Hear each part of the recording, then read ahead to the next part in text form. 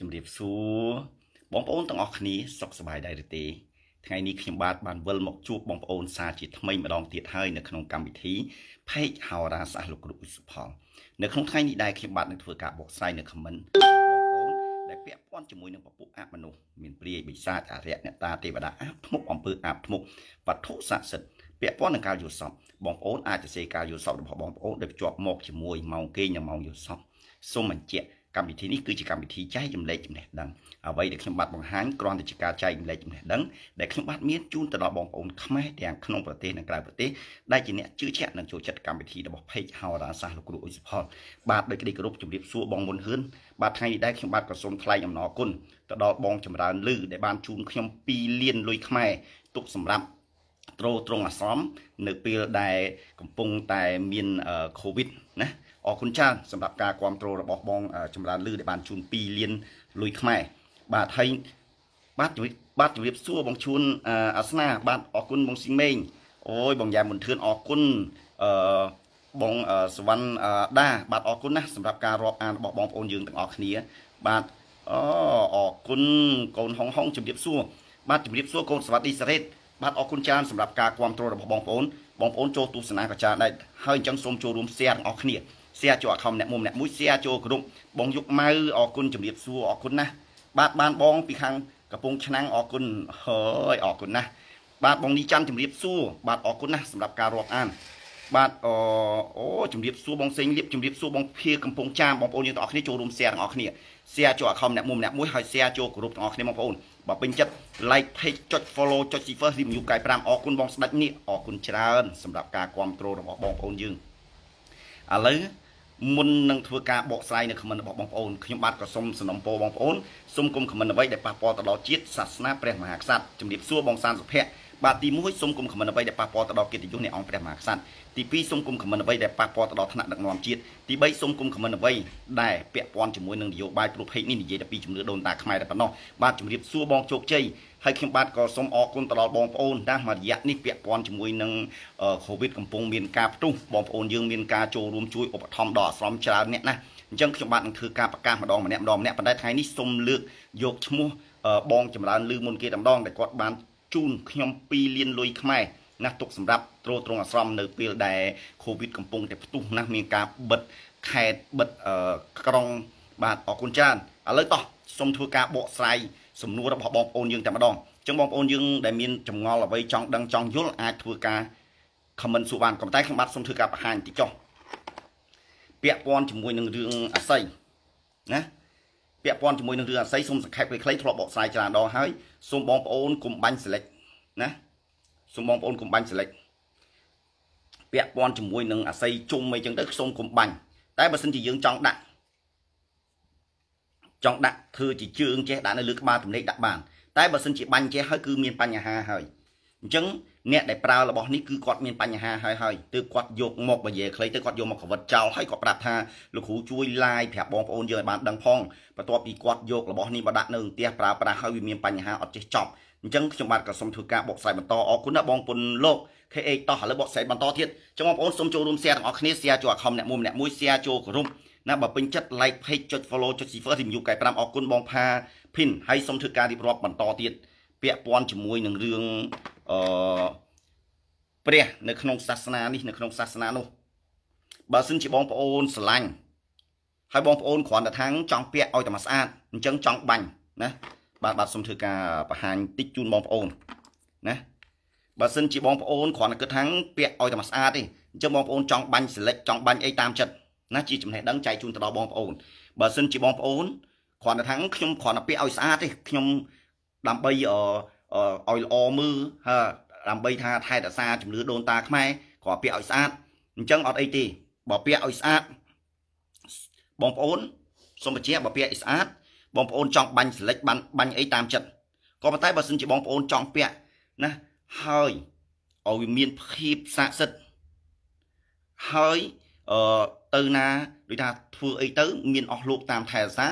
ពេលដែលអស់លោកយាមមកគង់គឺអាចទៅជាវត្ថុស័ក្តិសិទ្ធិអញ្ចឹងបងប្អូនមិនគួរបាញ់ select ដាត់មិនគួរបាញ់ select អញ្ចឹងបងប្អូនទាំងអស់គ្នាឥឡូវសូមចូលរួម share ម្នាក់មួយម្នាក់មួយសិនណាសូមចូលរួម share ម្នាក់មួយម្នាក់មួយសិនចឹងបងប្អូនសូមចូលរួម share ចូល account អ្នកមុំអ្នកមួយហើយចូលរួមបន្ត share ចូលក្រុមបើពេញចិត្ត like page ចុច follow ចុច share review កាយ5ព្រោះមានបងប្អូនយើងបាទគាត់ដោះទាំងខ្សែកតែម្ដងណាខ្ញុំសូមធ្វើការបង្ហាញគាត់ដោះទាំងខ្សែកតែម្ដងយកមកបាទ យកមកបើនិយាយពាក្យគាត់ស្ដាប់យកមកចោលតែម្ដងដោយសារគាត់ណាយកបញ្ញាក្អែកយកបញ្ញាក្អែកមកហើយបានឆ្លាក់ជានេះជានោះហើយគាត់បាញ់សិលិច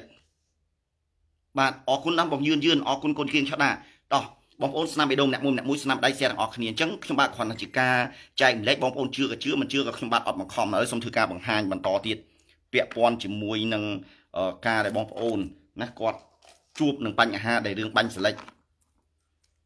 បាទឥឡូវសូមធ្វើការបង្ហាញបន្តិចពាក់ព័ន្ធជាមួយនឹងរឿងបាញ់សិលិច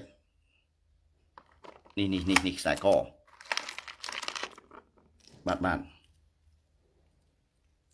បាទនេះបងប្អូនពាក់ព័ន្ធខ្សែកសូមធ្វើការបង្ហាញជូនបងប្អូនតោះឥឡូវបងប្អូនសូមចូលរួម share ទាំងអស់គ្នា share ចូលអខមអ្នកមុំអ្នកមួយ share ចូលក្រុមបាទនេះគាត់មានការបាញ់សិលិចនេះបងប្អូននេះ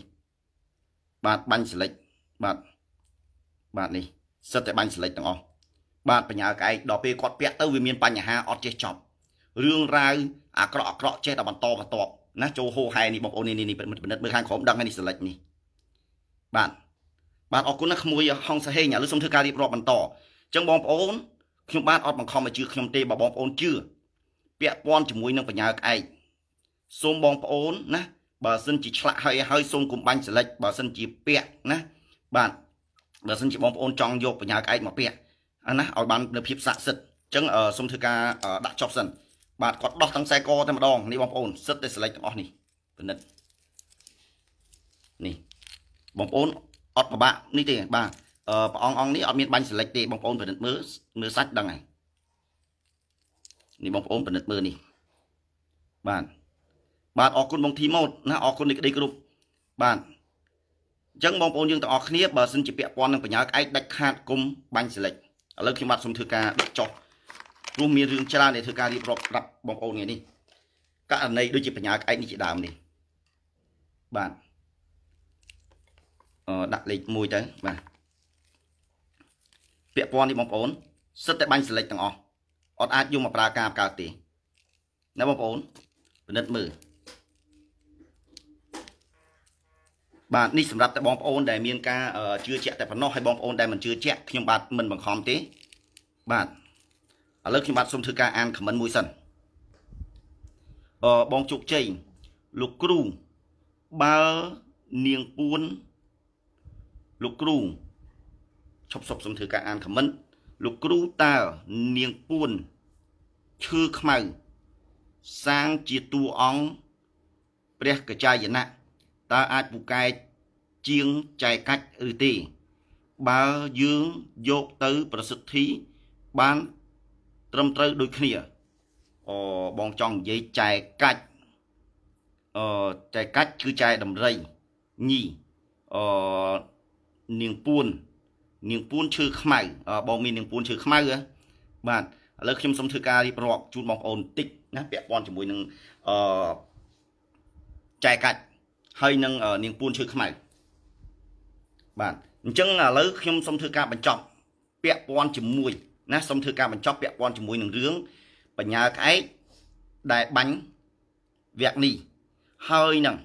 ណាបញ្ញាក្អែកបាញ់វគ្គនេះហើយនឹងបងប្អូនបើសិនជាមានបញ្ញាក្អែកឆ្លាក់ជារូបព្រះណាឆ្លាក់ជារូបព្រះនេះសូមធ្វើការបង្ហាញម្ដងទៀតបាទឆ្លាក់ជារូបព្រះហើយបងប្អូនយកទៅបាញ់វគ្គនេះនឹងមានបញ្ហាបាទ អញ្ចឹងសូមធ្វើការបិទកន្លែងហ្នឹងសិនអឺសូមសួរបងប្អូនសិន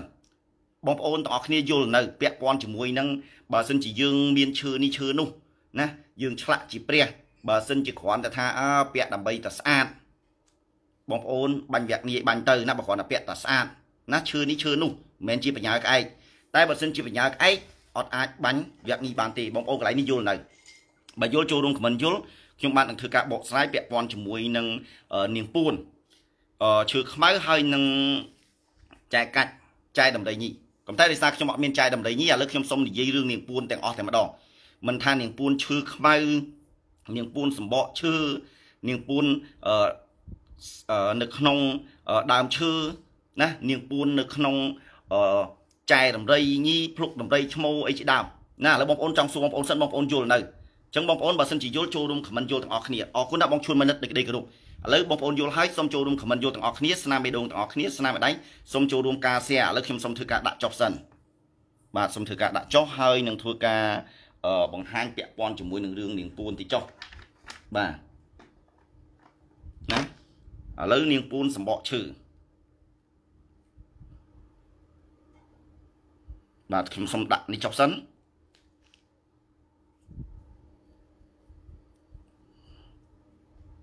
បាទមានរូបរាងដូចជាសត្វចឹងណាមើលបងប្អូនបាទណាបាទអរគុណសម្រាប់ការយល់ឥឡូវសូមធ្វើការបកស្រាយជូនបងប្អូនបន្តទៀតបាទសូមដាក់ទឹកមកអឹកសិនអឺអរគុណអរគុណណាអរគុណសម្រាប់ការយល់អរគុណបងឆវ័នវឌ្ឍនាឥឡូវសូមធ្វើការរៀបរាប់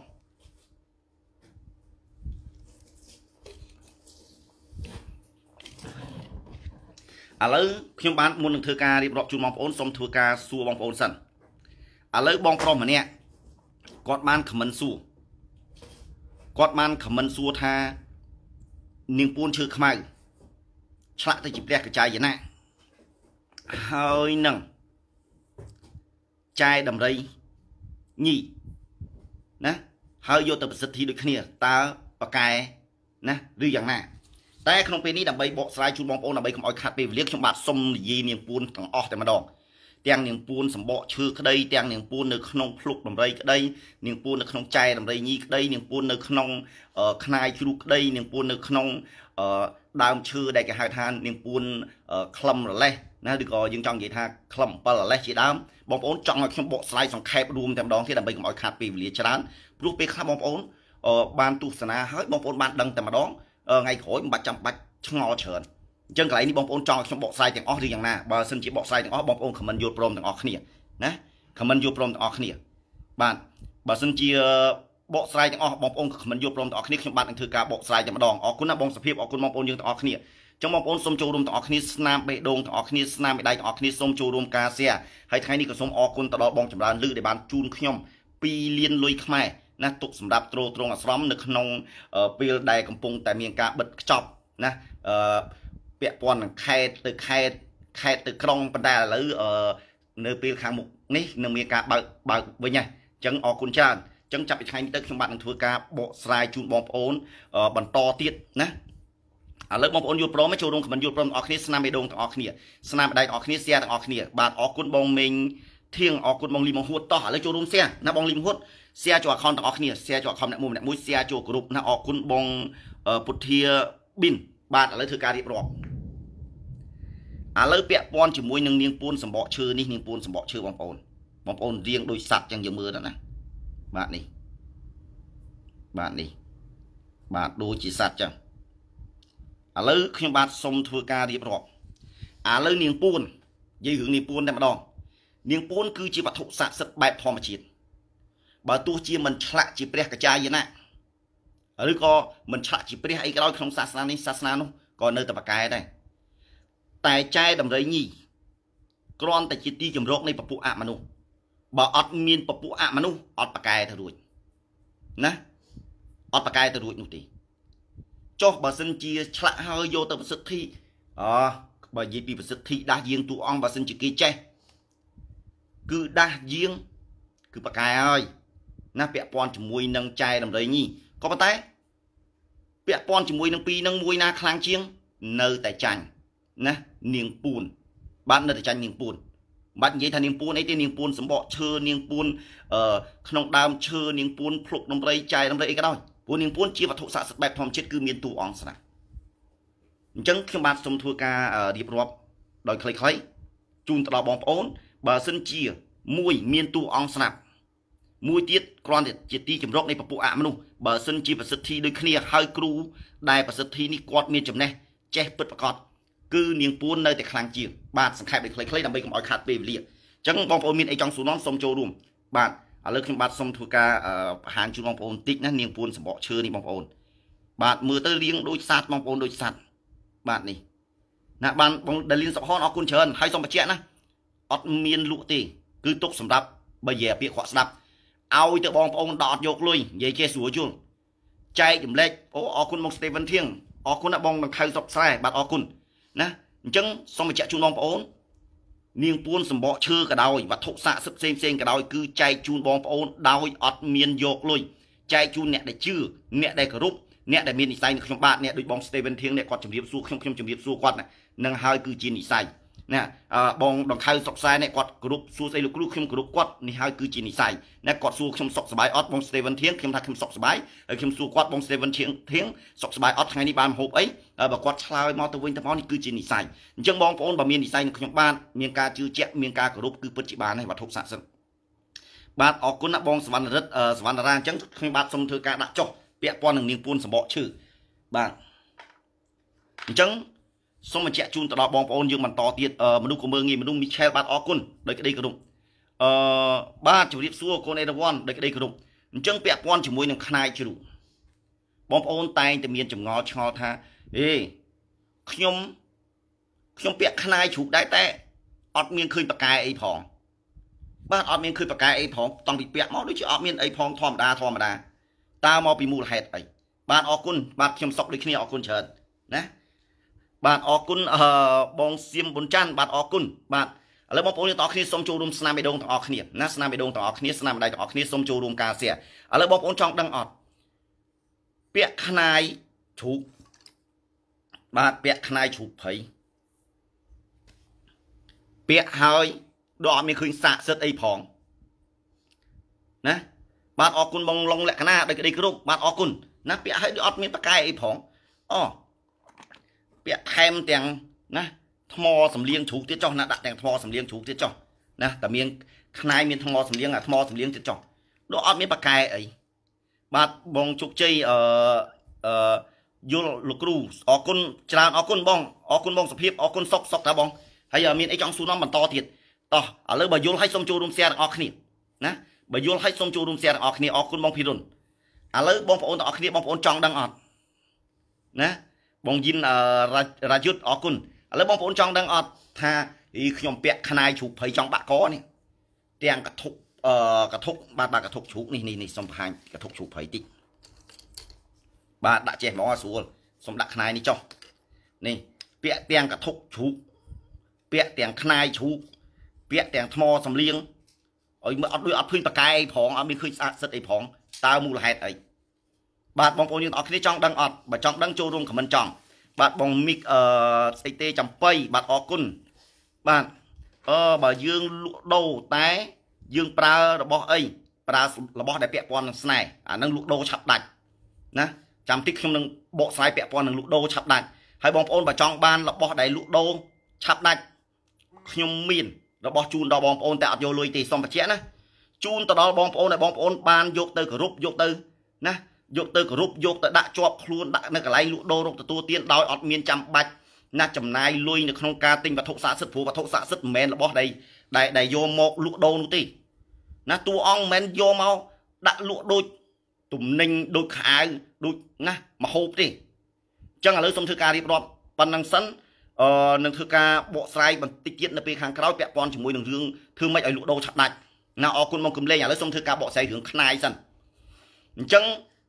បងប្អូនឆ្ងល់ថាមិនក៏ខ្ញុំពាក់ខ្នាយចង់បាក់កឲ្យមិនក៏អត់ឃើញបកែសាកសិទ្ធអីអញ្ចឹង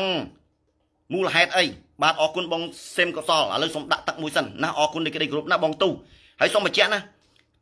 ពេលដែលបកស្រាយរឿងខ្នាយចប់នឹងនិយាយអំពីតើធ្វើយ៉ាងម៉េចដើម្បីបងប្អូនលក់ដូរដាច់ណាលក់ដូរដាច់បាទអរគុណអាវីលើបាទអរគុណអញ្ចឹងបងប្អូនសូមចូលរួម share ទាំងអស់គ្នា ឥឡូវពាក់ព័ន្ធជាមួយនឹងពាក់ខ្នាយជ្រូកអូយស្អាតណាណាមានមរាអូយមើលមកអសស៊ីឬក៏ជុំកឡង់ឬក៏ស្អីចឹងទៅណាអូណាអពាក់កធុកជ្រូកណាគេថាស្នេហ៍ណាខ្ញុំទិញគេគេថាស្នេហ៍ប៉កែណាអាហ្នឹងបោកប្រាស់ទៀតហើយណាអូថ្មសំលៀងសូមបញ្ជាក់ជូនទៅដល់បងប្អូនខ្មែរទាំងក្នុងនិងក្រៅប្រទេស របស់ទាំងអស់នេះវាគ្រាន់តែជាទីជំរកនៃពពួកអមនុស្សរបស់ទាំងអស់ដែលខ្ញុំកំពុងតែនិយាយនេះថ្មសំលៀងនេះពិនិត្យមើលថ្មសំលៀងជូកណាអូកធុកឬក៏ខ្នាយឈុកញីអូខ្នាយឈុកឈ្មោះវាគ្រាន់តែជាទីជំរកនៃពពួកអមនុស្សណា អញ្ចឹងសូមបញ្ជាក់ជូនទៅដល់បងប្អូនខ្មែរនៅក្នុងក្រៅប្រទេសវាគ្រាន់តែជាទីជំរកនៃពពួកអមនុស្សបើអត់មានពពួកអមនុស្សពាក់បានតែត្រឹមតែពាក់ហ្នឹងពាក់ធ្ងន់តែកកហ្នឹងអត់មានបកែតាណារួចទេសូមបងប្អូនជ្រាបតែបើករណីរបស់នេះជារបស់តៃហោងវិញបងប្អូនពាក់ចង្រៃតែម្ដងចង្រៃរកអីនិយាយអត់បានតែម្ដងព្រោះរបស់តៃហោងគឺជារបស់ដៃគេដែលគេសម្លាប់ឥឡូវសត្វជូតព្រៃគេសម្លាប់ខ្នាយវាក៏តៃហោងដែរណាអញ្ចឹង ខ្ញុំសុំមិននិយាយរឿងតៃហោងទេសុំនិយាយរឿងតៃសាឥឡូវបើសិនជាថ្មសម្លៀងនេះតៃសាកធុកជ្រូកញីនេះតៃសាខ្នាយជ្រូកនេះតៃសាបាទយើងទិញពីគេក៏ដោយអីលោកគ្រូឯងហ្នឹងសង្ស័យសហការជាមួយអ្នកលក់ហ្មងណាបាត់មុខមករយៈទេអត់មានដែរសហការទេបើមានភ័ស្តុតាងយកមកវាយប្រហាមកគ្រាន់តែនិយាយរឿងពិតបើសិនជាមានអ្នកលក់ខ្នាយគាត់តនីមកគាត់ថាគាត់ស្បត់ឲ្យងាប់ ខ្លួនគាត់អីចឹងទៅឬក៏ឲ្យស្អីណាផ្សេងចឹងទៅគាត់ស្បត់តនីថាតៃសា100%គាត់ស្បត់តនីថាសុទ្ធ100%ហើយខ្នាយជ្រូកគាត់គឺខ្នាយជ្រូកព្រៃមិនមែនរបស់ខ្លែងខ្លាយគឺជារបស់សុទ្ធហើយតនីតៃសាអាគ្រឿងបកែមិនបកែខ្ញុំអត់ដឹងទេបើគាត់និយាយអញ្ចឹងហើយគាត់លក់គាត់គឺជាមនុស្សដែលគួររាប់អានដែលបងប្អូនគួរជឿជាក់ទិញចោះចុះបើគាត់ហ៊ានស្បត់ដល់ថ្នាក់ឲ្យងាប់ខ្លួនគាត់ឲ្យអីហើយ ហើយខ្នែងមានអីថ្លៃមួយ20 30 40ដុល្លារឬក៏50ដុល្លារអីនោះអញ្ចឹងមកគាត់ធានាថាពិតជាតៃសាពិតជាសុទ្ធ100%បងប្អូនទិញអត់មានអីដែលត្រូវខ្លាចទេតែបើខុសច្បាប់អានឹងកុំទិញណាបើខុសច្បាប់កុំទិញព្រោះខ្ញុំអត់ដឹងថាខុសច្បាប់ឬមិនខុសច្បាប់ទេអញ្ចឹងពាក់ព័ន្ធជាមួយនឹងគាត់ធានាថារបស់តៃសាសុទ្ធមិនមែនជាវត្ថុស័ក្តិសិទ្ធិទេរបស់តៃសាសុទ្ធរបស់តៃសាសុទ្ធបងប្អូនទិញយកមក គឺល្អណាស់ខ្ញុំសូមបញ្ជាក់ល្អណាស់បងប្អូនអាចយកមកដាក់នៅកន្លែងកន្លែងណាកន្លែងដែលមានតួអង្គធំធំតួអង្គធំធំដែលគង់នៅដូចជាកន្លែងណាខ្លះកន្លែងព្រះអង្គដងកើកន្លែងលោកយាយម៉ៅកន្លែងអ្នកតាឃ្លាំងមឿងឬក៏កន្លែងទីអាសនៈរបស់គ្រូទីអាសនៈរបស់គ្រូនេះថាកន្លែងហ្នឹងគ្រូគាត់ណាគាត់មានយាងតួអង្គនេះតួអង្គនោះច្រើនណាមានគេគោរពបូជាគេស្ពះគេគោរពបងប្អូនអាចយកទៅផ្ញើកន្លែងគាត់ដើម្បីឲ្យអស់លោក ណាគង់ព្រោះបើសិនជាតៃសាសុំបញ្ជាក់របស់នេះគឺជាទីចម្រោកនៃពពួកអមនុស្សយើងដាក់នៅកន្លែង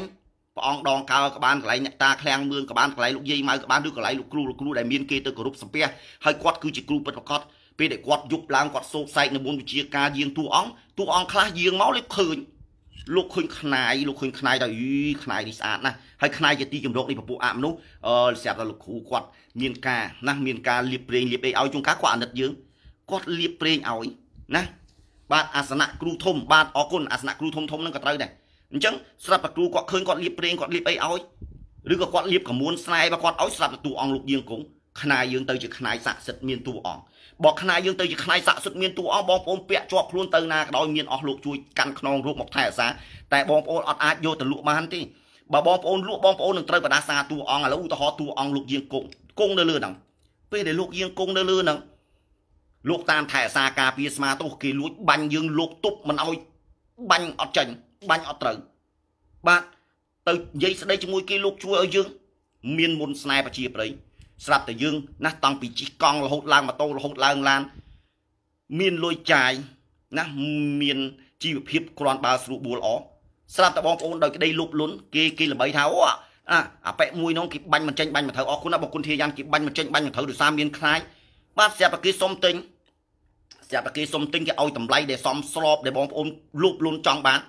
ស្រាប់បងប្អូនលក់ណែសុំបញ្ជាក់ណាបើសិនជាបងប្អូនលក់ស្មើនឹងលក់តួអង្គពេលដែលលក់ហើយតួអង្គលក់នឹងដាក់ផ្ដាសាដូចអំបិលត្រូវទឹកទ្រពសម្បត្តិដែលរោបានតែប្រមាណវិនិច្ឆ័យអន្តរាយស្រាប់តែសត្រូវចាស់សត្រូវចាស់ដែលគេមានការណាបាក់បបខ្លោបខ្លាចដោយសារចាញ់រឹតអំណាចតួអង្គណាពីមុនមកគេចាញ់រឹតអំណាចតួអង្គតែឥឡូវតួអង្គយើងលក់បាត់តួអង្គដាក់ផ្ដាសា អាអ្នកដែលស្អប់យើងមកម្ដងទៀតដាក់យើងមកមិនបាច់ថាច្រើនទេដាក់តែមកគ្រាប់បកាច់យកតែម្ដងអាចនឹងបាត់បង់អាយុជីវិត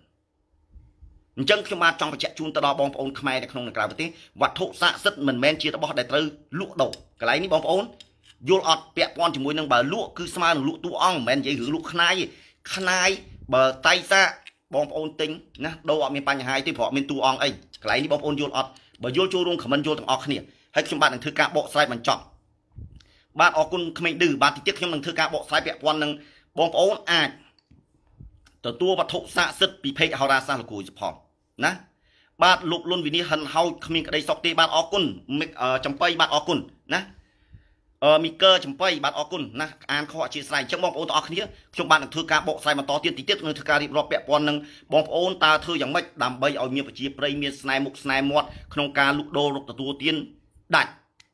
ហើយអាចការពារអំពើអាបធ្មប់អញ្ចឹងបងប្អូនកន្លែងនេះយល់អត់បើយល់ចូលរួមខមមិនយល់ខ្ញុំបាទនឹងធ្វើការបកស្រាយសង្ខេបហើយនឹងចូលទៅដល់វគ្គសំខាន់ថ្ងៃនេះសូមធ្វើការបកស្រាយបានច្រើនហើយថ្ងៃនេះក៏សូមអរគុណទៅដល់បងចម្រើនលឹងដែលបានជូនខ្ញុំ2លានលុយខ្មែរណាសម្រាប់ឲ្យខ្ញុំយកមកត្រួតត្រងជីវភាពនៅក្នុងពេលដែលកំពុងមានការបិទណាខ្ចប់ពាក់ព័ន្ធពីខេត្តមួយទៅខេត្តមួយពីខេត្តទៅក្រុងណាបាទអរគុណច្រើនហើយនឹងមានបងប្អូនជាច្រើនទៀតមិនមែនមានតែគាត់ម្នាក់ទេអរគុណច្រើនឥឡូវសូមធ្វើការបកស្រាយបន្តទៀត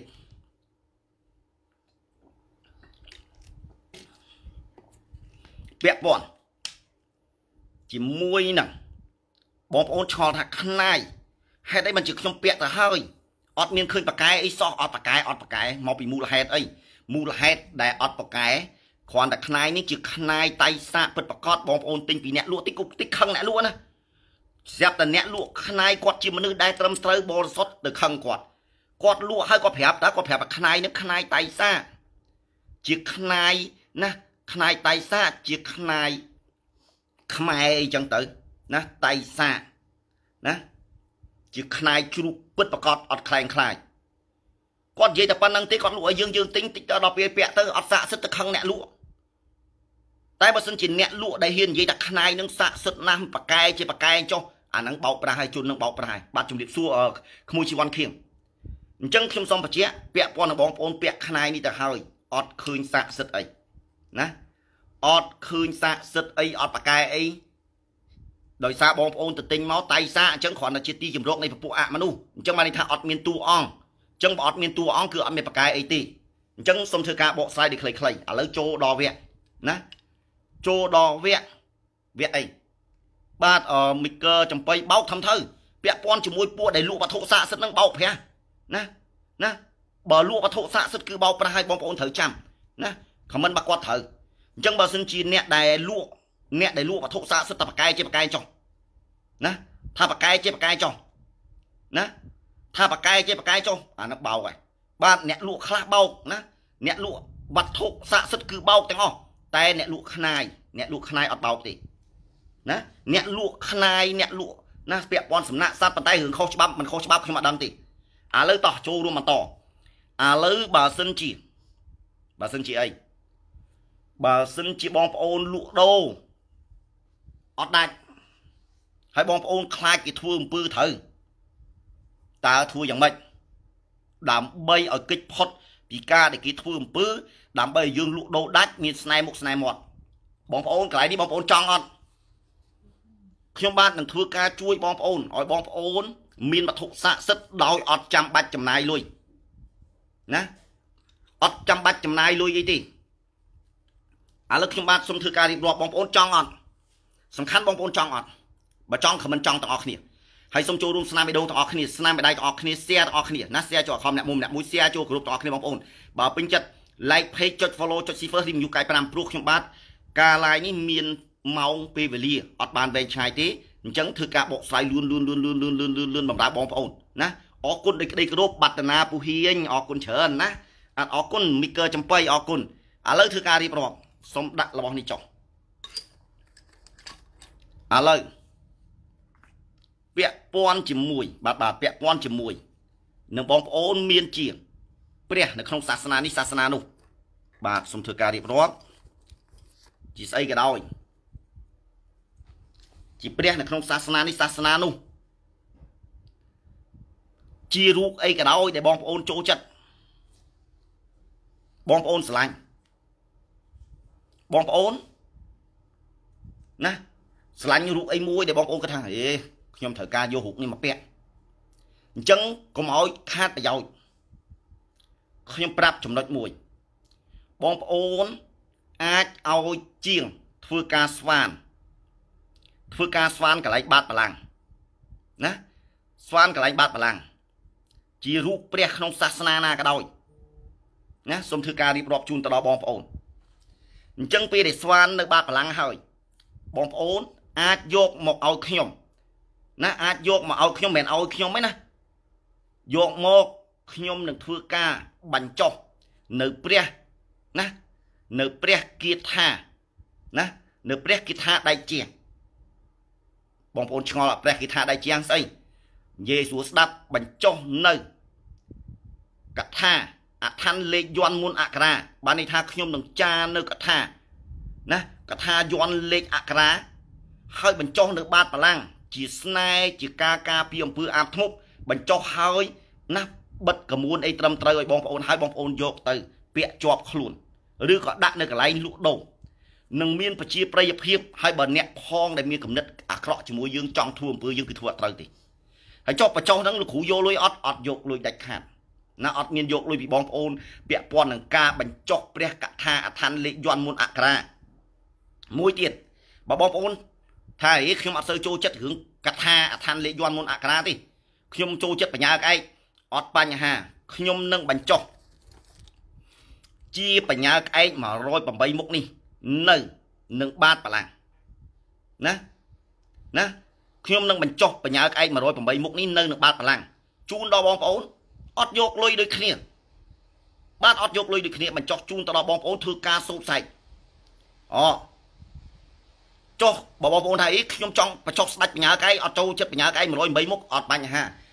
ស្ដាច់បញ្ញាក្អែកស្ដៅស្ដាច់បញ្ញាក្អែកអំពើជូស្ដាច់បញ្ញាក្អែកត្រៀនខេតស្ដាច់បញ្ញាក្អែកស្នោស្ដាច់បញ្ញាក្អែកអង្ក្រងស្ដាច់បញ្ញាក្អែកកទួតព្រៃស្ដាច់បញ្ញាក្អែកអស័យមានខ្ញុំបានធ្វើការបញ្ចុះបងប្អូនអត់មានចាំបាច់ចំណាយលុយ អានឹងពាក់ព័ន្ធនឹងការបញ្ចុះនៅបាតបលាំងអញ្ចឹងមួយទៀតចុះបើសិនជាពួកខ្ញុំអត់ចូលចិត្តពាក់របស់តើត្រូវធ្វើម៉េចអញ្ចឹងឥឡូវធ្វើការបកស្រាយណាបកស្រាយកន្លែងនេះបងប្អូនយល់នៅពាក់ព័ន្ធនឹងការបញ្ចុះនៅ បាតបលាំងជាព្រះគិថាដែលជាឬក៏ព្រះកថាឋានលេខយន់មុនអក្សរាជាស្ដេចបញ្ញាក្អែកជាបញ្ញាក្អែក108មុខកន្លែងនេះបងប្អូនយល់នៅបើយល់ចូលរួមខមមិនយល់តិចទៀតខ្ញុំនឹងធ្វើការបកស្រាយទៀតបងប្អូនហើយចង់មកខ្ញុំអត់ចូលចិត្តពាក្យ ជារូបព្រះក្នុងសាសនានេះសាសនានោះតែខ្ញុំចូលចិត្តប្រើគ្រឿងក្អូបអីវិញតើយ៉ាងម៉េចចឹងបងប្អូនកន្លែងនេះយល់អត់បើយល់ចូលរួមខមមិនយល់ខ្ញុំបាទនឹងធ្វើការបកស្រាយជូនបងប្អូនយើងណាពាក់ព័ន្ធនឹងទឹកអប់គ្រឿងអូបសូមយកដបទឹកអប់មួយមកណាអរគុណបងតារាវិញបាទ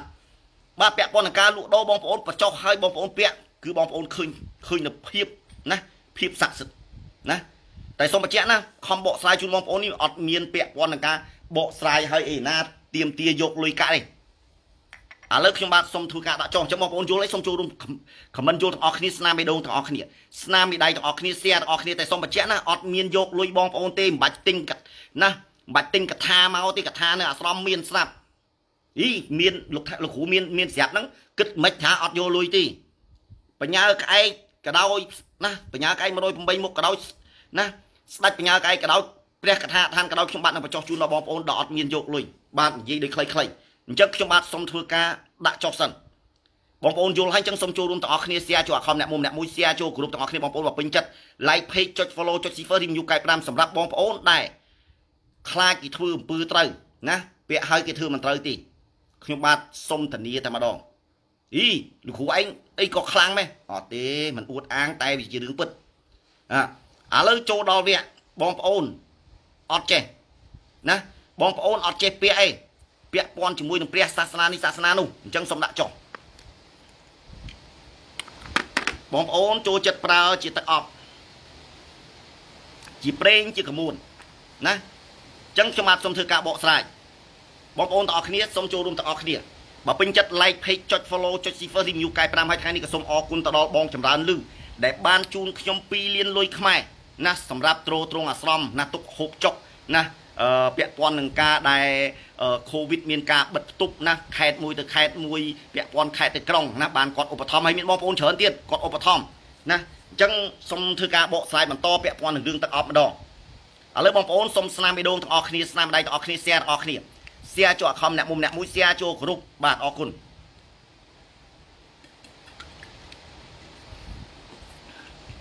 ឥឡូវបងប្អូន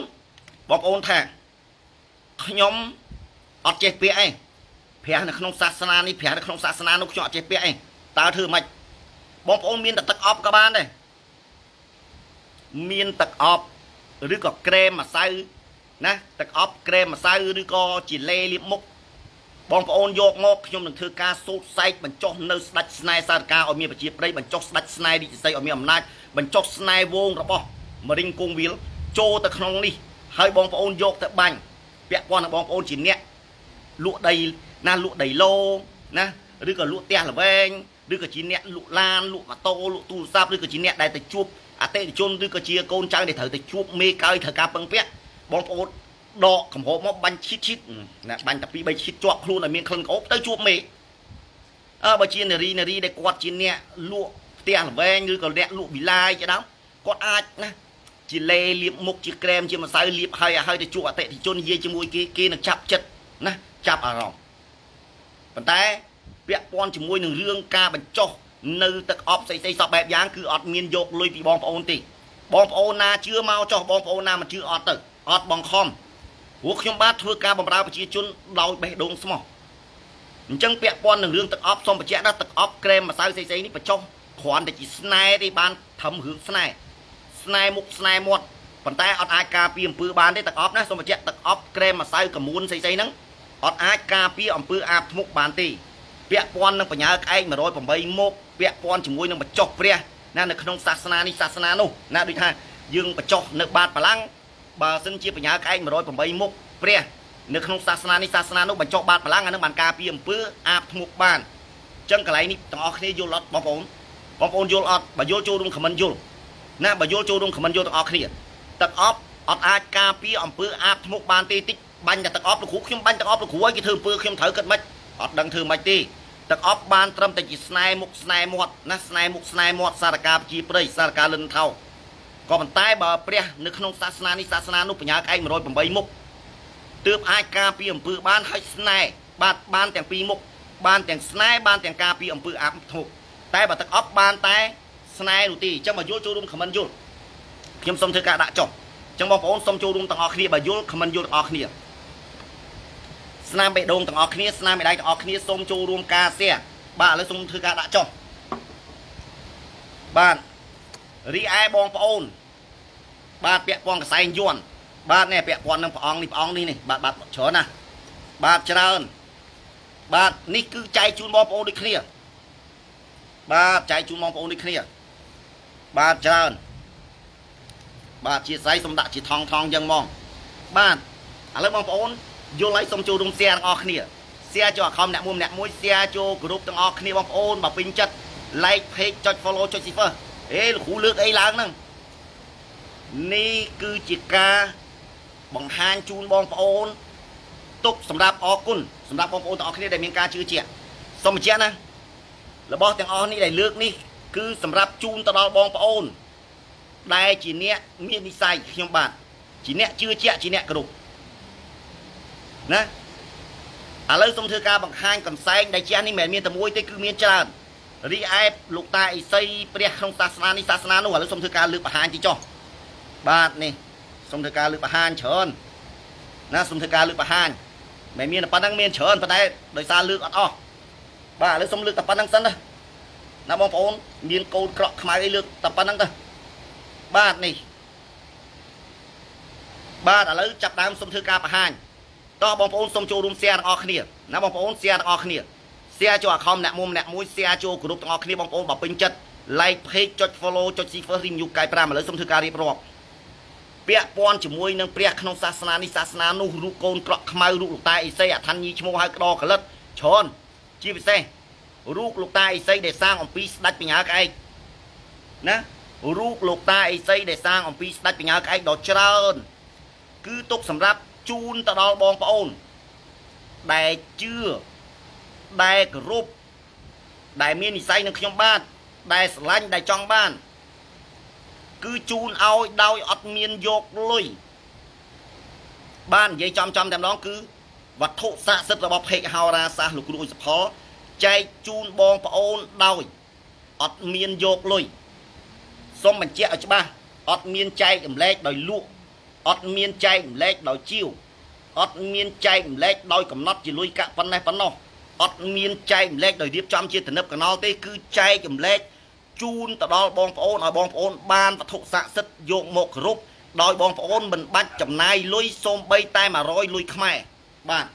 ឥឡូវខ្ញុំបាទសូមដាក់រូបកូនក្រក់ខ្មៅចុះរូបលោកតាអ៊ីសីណារូបព្រះកុងហ៊ីងណាហើយនឹងបាទបាទសុំសុំធ្វើការដាក់ចុះសិន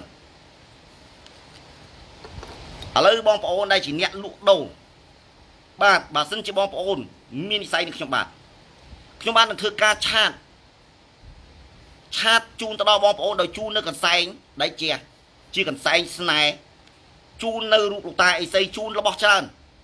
ណាជូនទៅដល់បងប្អូនខ្មែរនៅក្នុងក្រៅប្រទេសឥឡូវដល់ពេលវេលាដែលត្រូវចែកជូនបងប្អូនហើយព្រោះឥឡូវមានការគេហៅថា ការបើកណាបើកឡើងវិញហើយពាក់ព័ន្ធពីខេត្តមួយទៅខេត្តមួយពាក់ព័ន្ធជាមួយខេត្តនិងក្រុងអីជាដើមអញ្ចឹងការលក់ដូរចាប់ដើមធ្វើការលក់ដូរឡើងវិញហើយអញ្ចឹងខ្ញុំបាទនឹងធ្វើការឆាតទៅបងប្អូនដែលជាអ្នកណាជឿជាក់អ្នកគោរពឲ្យអ្នកដែលជឿប្រសើរជាងឲ្យអ្នកដែលគេមិនជឿតែសូមបញ្ជាក់ការឲ្យគឺអត់មានយកលុយយេខ្លីស្រួលយល់អញ្ចឹងលក្ខខណ្ឌនៃការឲ្យយ៉ាងមិនខ្លះណា ចែកខ្ញុំផងលោកគ្រូឥឡូវខ្ញុំសូមធ្វើការបកស្រាយបាទជំរាបសួរបងគង់លឺបាទដូចបងគង់លឺគឹមគង់លឺគាត់ចូលមកជំរាបសួរខ្ញុំខ្ញុំជំរាបសួរគាត់អានឹងហើយជានិស័យនឹងហើយជានិស័យរវាងគាត់ហើយនឹងខ្ញុំណាបាទរវាងគាត់ហើយនឹងខ្ញុំជានិស័យអញ្ចឹងអត់មានចាំបាច់ទេតអ្នកនឹងជី500ចិត្តមកបើមាននិស័យអត់ទេណាអញ្ចឹងខ្ញុំសូមធ្វើការរៀបរាប់ជូនទៅដល់បងប្អូនបន្តទៀតបាទ អឺបងភិរុន wake up អរគុណសម្រាប់សម្ដានចិត្តល្អរបស់លោកគ្រូបាទអរគុណព្រោះចែខ្ញុំសូមបញ្យល់វត្ថុស័ក្តិសិទ្ធិមិនមែនសម្រាប់យកមកលក់ទេបងប្អូនត្រូវចាំណាអ្នកណាក៏ដោយដែលលក់វត្ថុស័ក្តិសិទ្ធិណាអ្នកណាក៏ដោយដែលលក់វត្ថុស័ក្តិសិទ្ធិជននោះហើយគឺជាជនបោកប្រាស់បងប្អូនត្រូវចាំព្រោះវត្ថុស័ក្តិសិទ្ធិគេមិនដែរយកមកលក់ទេហើយបើអ្នកដែលមានវត្ថុស័ក្តិសិទ្ធិណាគេទុកគ្រប់ ដើម្បីឲ្យរុងរឿងរីកចម្រើនសម្បូរទ្រព្យសម្បូរលៀបហើយបើគេរុងរឿងរីកចម្រើនសម្បូរទ្រព្យសម្បូរលៀបមានដល់វិឡាមានផ្ទះល្អល្អនៅហើយគេអត់ចាំបាច់លក់ទេបើគេមានទ្រព្យមានលៀបមានលុយមានកាក់ដោយសារវត្ថុស័ក្តិសិទ្ធិជួយគេនឹងធ្វើបុណ្យកុសលដោយចែកវត្ថុស័ក្តិសិទ្ធិជូនបងប្អូនណាឥឡូវឧទាហរណ៍ឧទាហរណ៍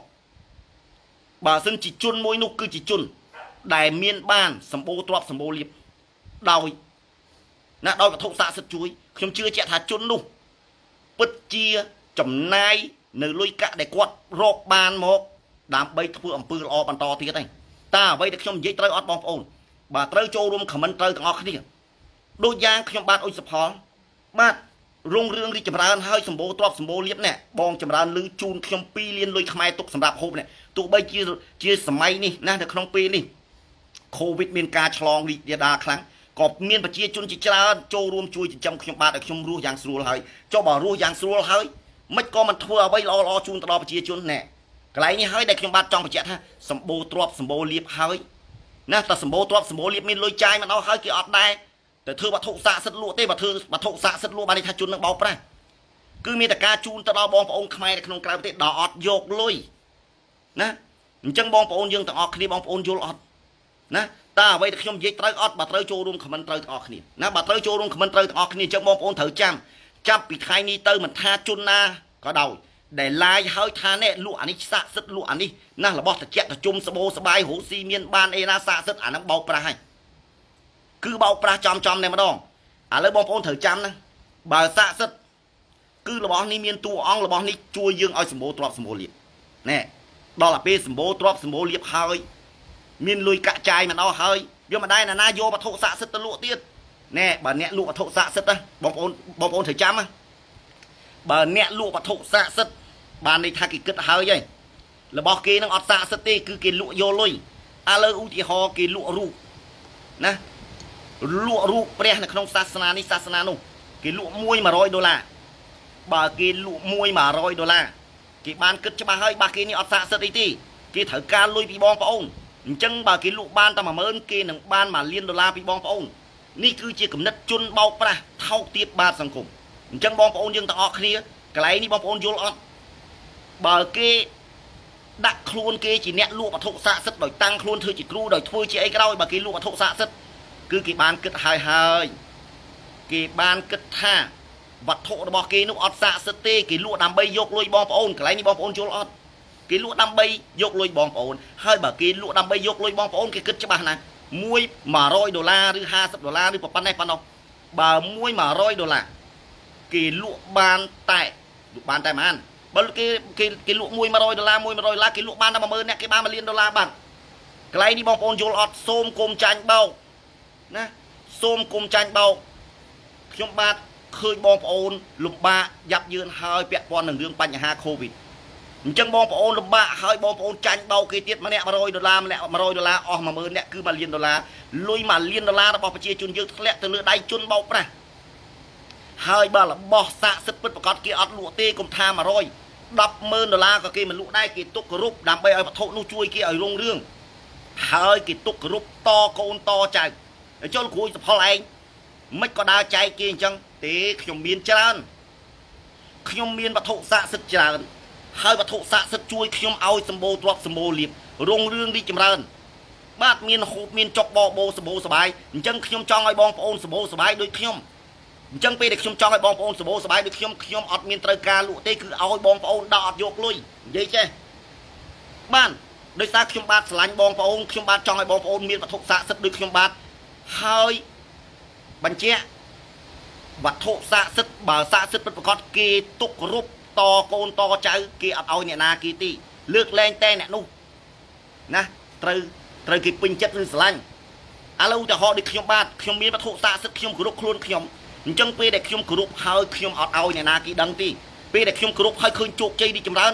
ដល់ទៅពេលខ្ញុំឃើញបងប្អូនខ្ញុំស្រឡាញ់បងប្អូនខ្ញុំពេញចិត្តបងប្អូនខ្ញុំចង់ឲ្យបងប្អូនមានក្តីសុខដូចខ្ញុំទើបខ្ញុំសាងវត្ថុស័ក្តិសិទ្ធិជាច្រើនទៀតជូនទៅដល់បងប្អូនដោយបងប្អូនមិនបាច់ចំណាយលុយបានន័យថាចែករំលែកវត្ថុស័ក្តិសិទ្ធិ ជូនឲ្យទៅដល់បងប្អូនទុករូបដោយបងប្អូនអត់ចាំបាច់ចំណាយលុយសូមបីតែ100លុយខ្មែរបានន័យថាចែករំលែកវត្ថុស័ក្តិសិទ្ធិដោយអត់មានលក់ចែករំលែកវត្ថុស័ក្តិសិទ្ធិដោយអត់មានជីវចែករំលែកវត្ថុស័ក្តិសិទ្ធិដោយអត់មានកំណត់ជាលុយកាក់ប៉ុណ្ណេះប៉ុណ្ណោះចែករំលែកវត្ថុស័ក្តិសិទ្ធិដោយអត់មានរៀបចំទំនឹបកណុលបងប្អូនមកមិនបាច់ទិញទៀនធូបអីទេ ពេលដែលខ្ញុំបាទឆាតទៅដល់បងប្អូនបងប្អូនអាចអញ្ជើញមកដោយមិនបាច់ទិញទៀនធូបទេមិនបាច់ចំណាយអីទាំងអស់មកទទួលយកវត្ថុស័ក្តិសិទ្ធិក៏ប៉ុន្តែករណីករណីអីទៀតករណីបើសិនជាបងប្អូនជន់ឆ្នាំឆុងឆ្នាំឥឡូវបងប្អូនក្នុងឆ្នាំនេះអ្នកដែលកើតឆ្នាំឆ្លូវគឺជន់ឆ្នាំ អ្នកដែលកើតឆ្នាំមួយម៉ែគឺឆុងឆ្នាំ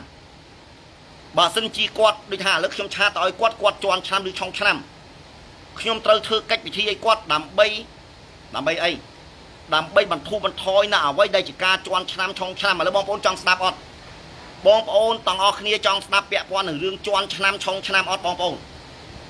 ណាបងប្អូនចង់ស្ដាប់អត់ពាក់ព័ន្ធនឹងរឿងជន់ឆ្នាំឆុងឆ្នាំតើត្រូវធ្វើយ៉ាងម៉េចបាទកាត់គ្រោះលើករាសីធ្វើកិច្ចវិធីឲ្យគាត់ដើម្បីណាឲ្យគាត់មានពលឺហើយទើប ចែកជូនទៅដល់គាត់ចែកវត្ថុស័ក្តិសិទ្ធិឲ្យគាត់ឲ្យចុះបើគាត់រាសីធ្លាក់រាសីធ្លាក់ក៏អញ្ចឹងដែរឥឡូវបងប្អូនចង់ស្ដាប់អត់បងប្អូនចង់អត់បើចង់ចូលរួមខមមិនចង់ទាំងអស់គ្នាណាបើចង់ចូលរួមខមមិនចង់ទាំងអស់គ្នាណាបាទឥឡូវខ្ញុំបាទសុំហូបទឹកមួយណាអធិស្ឋានបងប្អូនសុំហូបទឹកមួយសិន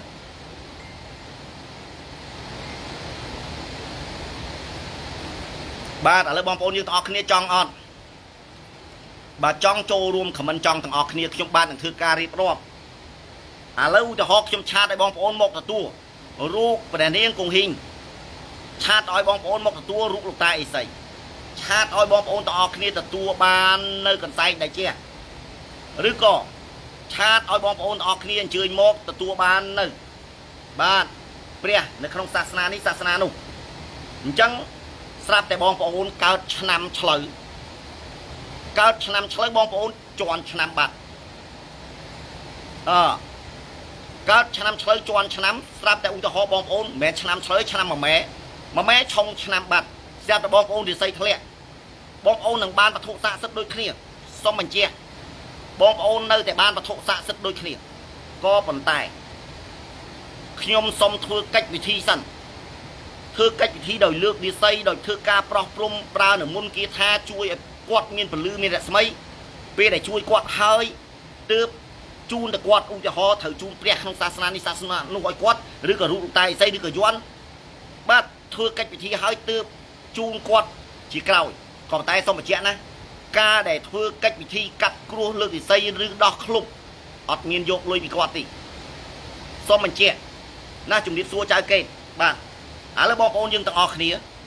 បងប្អូនគ្រប់គ្រងអត់នៅក្នុងការដែលខ្ញុំបាទធ្វើកិច្ចពិធីកាត់គ្រោះលើករាសីឬក៏ធ្វើពិធីដោះឃ្លុបណាសម្រាប់បងប្អូនដែលអញ្ជើញមកទទួលវត្ថុស័ក្តិសិទ្ធិឲ្យគាត់មានពលឺមានដាក់ស្មីហើយទើបជូនវត្ថុស័ក្តិសិទ្ធិទៅគាត់តើបងប្អូនទាំងអស់គ្នាគ្រប់គ្រងអត់ណាបងប្អូនទាំងអស់គ្នាបើបងប្អូនគ្រប់គ្រងសូមចូលរួមខមមិនគ្រប់គ្រងទាំងអស់គ្នាណាបងប្អូនអឺបងច័ន្ទបូសន្តិភាពបងច័ន្ទបូស ន្តិភាពតើធ្វើយ៉ាងណាលោកគ្រូនឹងបានរបស់អឺលោកគ្រូមកប្រើអូខេធ្វើយ៉ាងណាបានបានរបស់ស័ក្តិសិទ្ធិមកប្រើបាទអូខេខ្ញុំនឹងបកស្រាយអញ្ចឹងឥឡូវចង់ដឹងបងប្អូនគ្រប់គ្រងអត់បើគ្រប់គ្រងសូមចូលរួមខមមិនគ្រប់គ្រងសិនហើយបងប្រុសម្នាក់ដែលឈ្មោះបងច័ន្ទបូសន្តិភាពគាត់សួរថាតើធ្វើយ៉ាងម៉េចដើម្បីបានវត្ថុស័ក្តិសិទ្ធិពីខ្ញុំយកទៅប្រើខ្ញុំនឹងធ្វើការបកស្រាយ ចឹងបងប្អូនបាទគ្រប់ត្រូលសូមចូលរួមខមមិនគ្រប់ត្រូលទាំងអស់គ្នាបាទគ្រប់ត្រូលគ្រប់ត្រូលគ្រប់ត្រូលទាំងអស់គ្នាស្នាមបេដងស្នាមបេដងទាំងអស់គ្នាស្នាមបដៃស្នាមបដៃទាំងអស់គ្នាសៀទាំងអស់គ្នាសៀចូលអខំអ្នកមុំអ្នកមួយសៀចូលគ្រប់ណាសៀចូលអខំអ្នកមុំអ្នកមួយសៀចូលគ្រប់មានគ្រប់បានដាក់អស់បងប្អូនជុំហ្នឹងណាបើពេញចិត្ត like page ចុច follow ចុច share រីមញូកាយ5ទាំងអស់គ្នាបាទហើយចូលរួម invite friend ផងបាទឥឡូវខ្ញុំបាទសូមធ្វើការរៀបរាប់បាទសុំហូបទឹកមួយសិនណាហូបទឹកមួយសិន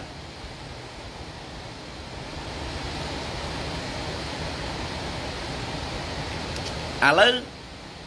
បងប្អូនខ្មែរនៅក្នុងក្រៅប្រទេសបងច័ន្ទបូសន្តិភាពមិញគាត់សួរថាចេះតើធ្វើយ៉ាងម៉េចដើម្បីបានវត្ថុស័ក្តិសិទ្ធិនេះពីខ្ញុំអត់ប្របាណាអត់ប្របាហូរដាច់ភ្លើងបាទថាច់ដាច់ភ្លើងមានភ្លើងដាក់ភ្លើងទៀតបាទឥឡូវសុំសុំសុំធ្វើការនេះបាទណានៅនេះដាច់ភ្លើងមានភ្លើងបាទមានពូភ្លើងបាទដាច់ភ្លើងមានពូភ្លើងតឥឡូវបន្តទៀត ឥឡូវចូលដល់វគ្គសំខាន់ណាបងប្អូនតើធ្វើយ៉ាងម៉េចទើបបានវត្ថុស័ក្តិសិទ្ធិនេះ ពីខ្ញុំបាទអ៊ុចសុផលណាឥឡូវមានច្រើនបាទមានកូនក្រក់ខ្មៅមានរូបលោកតាអីសីបាទដៃដៃមានតែពីរយើងកាន់អត់អស់ទេបងប្អូនបាទឥឡូវធ្វើយ៉ាងម៉េចទើបបានវត្ថុស័ក្តិសិទ្ធិពីពេកហោរាសាលោកគ្រូអ៊ុចសុផលណាបងប្អូន ធ្វើយ៉ាងម៉េចទើបបានវត្ថុស័ក្តិសិទ្ធិពីពេកហោរាសាសលោកគ្រូអ៊ុយសផលអត់ពិបាកទេបងប្អូនគ្រាន់តែជឿណាបងប្អូនគ្រាន់តែជឿបាទសូមបញ្ជាក់ជូនបងប្អូនបាទលើកដាច់ទៀតទេបាទបាទអធិស្ឋានបាទសូមដកដាក់ដាក់ភ្លើងគូភ្លើងតិចបាទបាទអធិស្ឋាន ដាក់ដាក់ហ្នឹងដាក់ហ្នឹងបាទបាទបាទបាទកាច់ចេះកាច់ចេះអឺបាទណាអត់មានប្របាកទេបងប្អូនឥឡូវនៅនៅដល់តាមខេត្តកម្រិតណាក៏ដោយដាច់ភ្លើងនៅតែអត់បញ្ហាឥឡូវបងប្អូនតោះបន្តទៀតឥឡូវសូមចូលរួម share សិនណាបាទ share ដើម្បីលើកទឹកចិត្តណា share ដើម្បីលើកទឹកចិត្ត live ជូនបងប្អូនទាំងដាច់ភ្លើងក៏នៅតែ live ឥឡូវបងប្អូនចូលរួម share សិនណា share ទាំងអស់គ្នាស្នាមបេះដូងទាំងអស់គ្នា ឥឡូវខ្ញុំបាទសូមបាទធ្វើការបកស្រាយជូនបងប្អូន បាទជួយលើកកម្លាំងចិត្តទាំងអស់គ្នាបាទបាទអរគុណច្រើនអូខាងប៉ោយប៉ែតដាច់ភ្លើងដែរឥឡូវតោះឥឡូវធ្វើយ៉ាងម៉េចដើម្បីបានវត្ថុស័ក្តិសិទ្ធិពីពេកហោរាសាលោកគ្រូសុផលអត់ប្របាក់ទេបងប្អូនគ្រាន់តែបងប្អូនជឿជាក់ណាអត់ប្របាក់ទេគ្រាន់តែបងប្អូនជឿជាក់ បងប្អូនគ្រប់បងប្អូនមាននិស័យនឹងខ្ញុំបាទតែប៉ុណ្្នឹងទេអត់មានអីច្រើនទេបងប្អូនជឿជាបងប្អូនគ្រប់បងប្អូនមាននិស័យនឹងខ្ញុំបាទបងប្អូននឹងបាននៅវត្ថុស័ក្តិសិទ្ធិដោយខ្ញុំបាទឆាតទៅដល់បងប្អូនណាអ្នកដែលទទួលវត្ថុស័ក្តិសិទ្ធិពីពេកហោរាសាលោកគ្រូសផលច្រើនណាបងប្អូនចូលឆែកមើលពេកហោរាសាលោកគ្រូសផលទៅណាបងប្អូនគ្រាន់តែគ្រាន់តែអី គ្រាន់តែជឿជាក់គ្រាន់តែគោរពហើយបងប្អូនមាននិស័យនឹងខ្ញុំបាទបងប្អូននឹងបាននៅវត្ថុស័ក្តិសិទ្ធិដោយខ្ញុំបាទឆាតទៅបងប្អូនតើមាននិស័យយ៉ាងម៉េចណាបាទអរគុណបងសូវិចិត្រតើមាននិស័យយ៉ាងម៉េចមាននិស័យនឹងអត់មានអីពិបាកទេណាមាននិស័យនឹងអត់មានពិបាកទេណាសូមបញ្ជាក់ជូនទៅដល់បងប្អូន គ្រាន់តែនេះដូចបងសធាគាត់ជម្រាបសួរខ្ញុំនេះណាបងសធាគាត់ជម្រាបសួរខ្ញុំខ្ញុំជម្រាបសួរគាត់អញ្ចឹងគាត់ជម្រាបសួរខ្ញុំខ្ញុំជម្រាបសួរគាត់អានឹងហើយជានិស័យណាបងស៊ីណាលើបលីគាត់ជម្រាបសួរខ្ញុំខ្ញុំជម្រាបសួរគាត់មានហើយជានិស័យអញ្ចឹងបើគាត់មាននិស័យនឹងខ្ញុំបាទបើគាត់មាននិស័យនឹងខ្ញុំបាទនេះដូចបងហេងក្មេងឌឺនេះគាត់ហាយខ្ញុំហាយទៅវិញហាយដូចគ្នាអានឹងហើយនិស័យ អញ្ចឹងបើគាត់មាននិស័យនឹងខ្ញុំបាទគាត់ជឿជាក់បាទគាត់មាននិស័យខ្ញុំបាទគាត់ចូលមកគោរពរាប់អានបាទនេះថាគាត់ជឿជាក់អីណាហើយគាត់គ្រាន់តែចេះគោរពយកទៅណាគោរពគោរពយ៉ាងម៉េចអត់មានប្របាក់ទេណាលៀបប្រេងលៀបកមួននេះឲ្យទៅណាពាក់ព័ន្ធវត្ថុស័ក្តិសិទ្ធិមានអីក្រៅពីលៀបលៀបប្រេងលៀបកមួនបាញ់ទឹកអប់អញ្ចឹងបើគាត់ជាអ្នកជឿជាក់គាត់ជាអ្នកគោរពគាត់មាននិស័យនឹងខ្ញុំបាទគាត់នឹងបានវត្ថុស័ក្តិសិទ្ធិ គាត់នឹងបានវត្ថុស័ក្តិសិទ្ធិពីភេកហោរាសាលគួយសផលដោយអត់មានចាំបាច់ពិបាកបាត់បិទទៅបាទណាឥឡូវបងប្អូនទាំងអស់គ្នាយល់អត់បាទបងប្អូនទាំងអស់គ្នាយល់អត់ណាដូចបងឈៀងញ៉ាគាត់ជំរាបសួរខ្ញុំណាគាត់ជំរាបសួរខ្ញុំខ្ញុំជំរាបសួរគាត់នេះហើយគឺជានិស័យហើយវត្ថុទាំងអស់នេះគឺទុកចែកជូនបងប្អូនអ្នកដែលជឿអ្នកដែលគ្រប់អ្នកដែលមាននិស័យណាអរគុណតាណា ខ្មែរបុកសឺបាទបាទជំរាបសួរបាទជំរាបសួរដូចគ្នាព្រោះបងប្អូនខ្លះគាត់ឆ្ងល់គាត់ឆ្ងល់ថាអញ្ចេះគាត់ឆ្ងល់ថាអេគឺមិនបានមាននិស័យនឹងគ្រូណាដូចបងអឺភូដានេះគាត់ជំរាបសួរខ្ញុំខ្ញុំជំរាបសួរគាត់នេះបងថេងលីមែននេះគាត់ជំរាបសួរខ្ញុំបងមេងហួតឆេងបាទនេះហើយគឺជានិស័យអញ្ចឹងឥឡូវបងប្អូនទាំងអស់គ្នាតោះបងប្អូនយល់អត់កន្លែងហ្នឹងបើយល់ចូលរួមខមមិនយល់ទាំងអស់គ្នា ស្នាមបេះដូងទាំងអស់គ្នាស្នាមមេដៃទាំងអស់គ្នាសូមចូលរួមការ share ទាំងអស់គ្នាសូមធ្វើការបកស្រាយជូនបងប្អូនយើងបន្តទៀតពាក់ព័ន្ធនឹងវត្ថុស័ក្តិសិទ្ធិណាសូមធ្វើការបកស្រាយជូនបងប្អូនយើងបន្តទៀតពាក់ព័ន្ធនឹងរឿងវត្ថុស័ក្តិសិទ្ធិឥឡូវបងប្អូនទាំងអស់គ្នាយល់នៅកូនក្រក់ខ្មៅមិនមែនមានតែមិនមែនមានតែមួយអង្គទេណាសូមបញ្ជាក់កូនក្រក់ខ្មៅគឺមានរាប់រយអង្គរូបលោកតាអេសីគឺមានរាប់រយអង្គណា គឺទុកចែកជូនបងប្អូន បាទទុកចែកជូនបងប្អូនសូមហូបទឹកសិនបាទបងសំណាងជំរាបសួរបាទជំរាបសួរបាទដាក់ទឹកមួយណាបងប្អូនអរគុណអរគុណសម្រាប់ការរាប់អានតើឥឡូវបងប្អូនស្នាមបេះដូងម្នាក់មួយម្នាក់មួយស្នាមបេះដៃ share ទាំងអស់គ្នាបើពេញចិត្តបងប្អូន like page ទាំងអស់គ្នា like page ចុច follow ទាំងអស់គ្នា share ទាំងអស់គ្នា review កាយ5 invite friend បាទ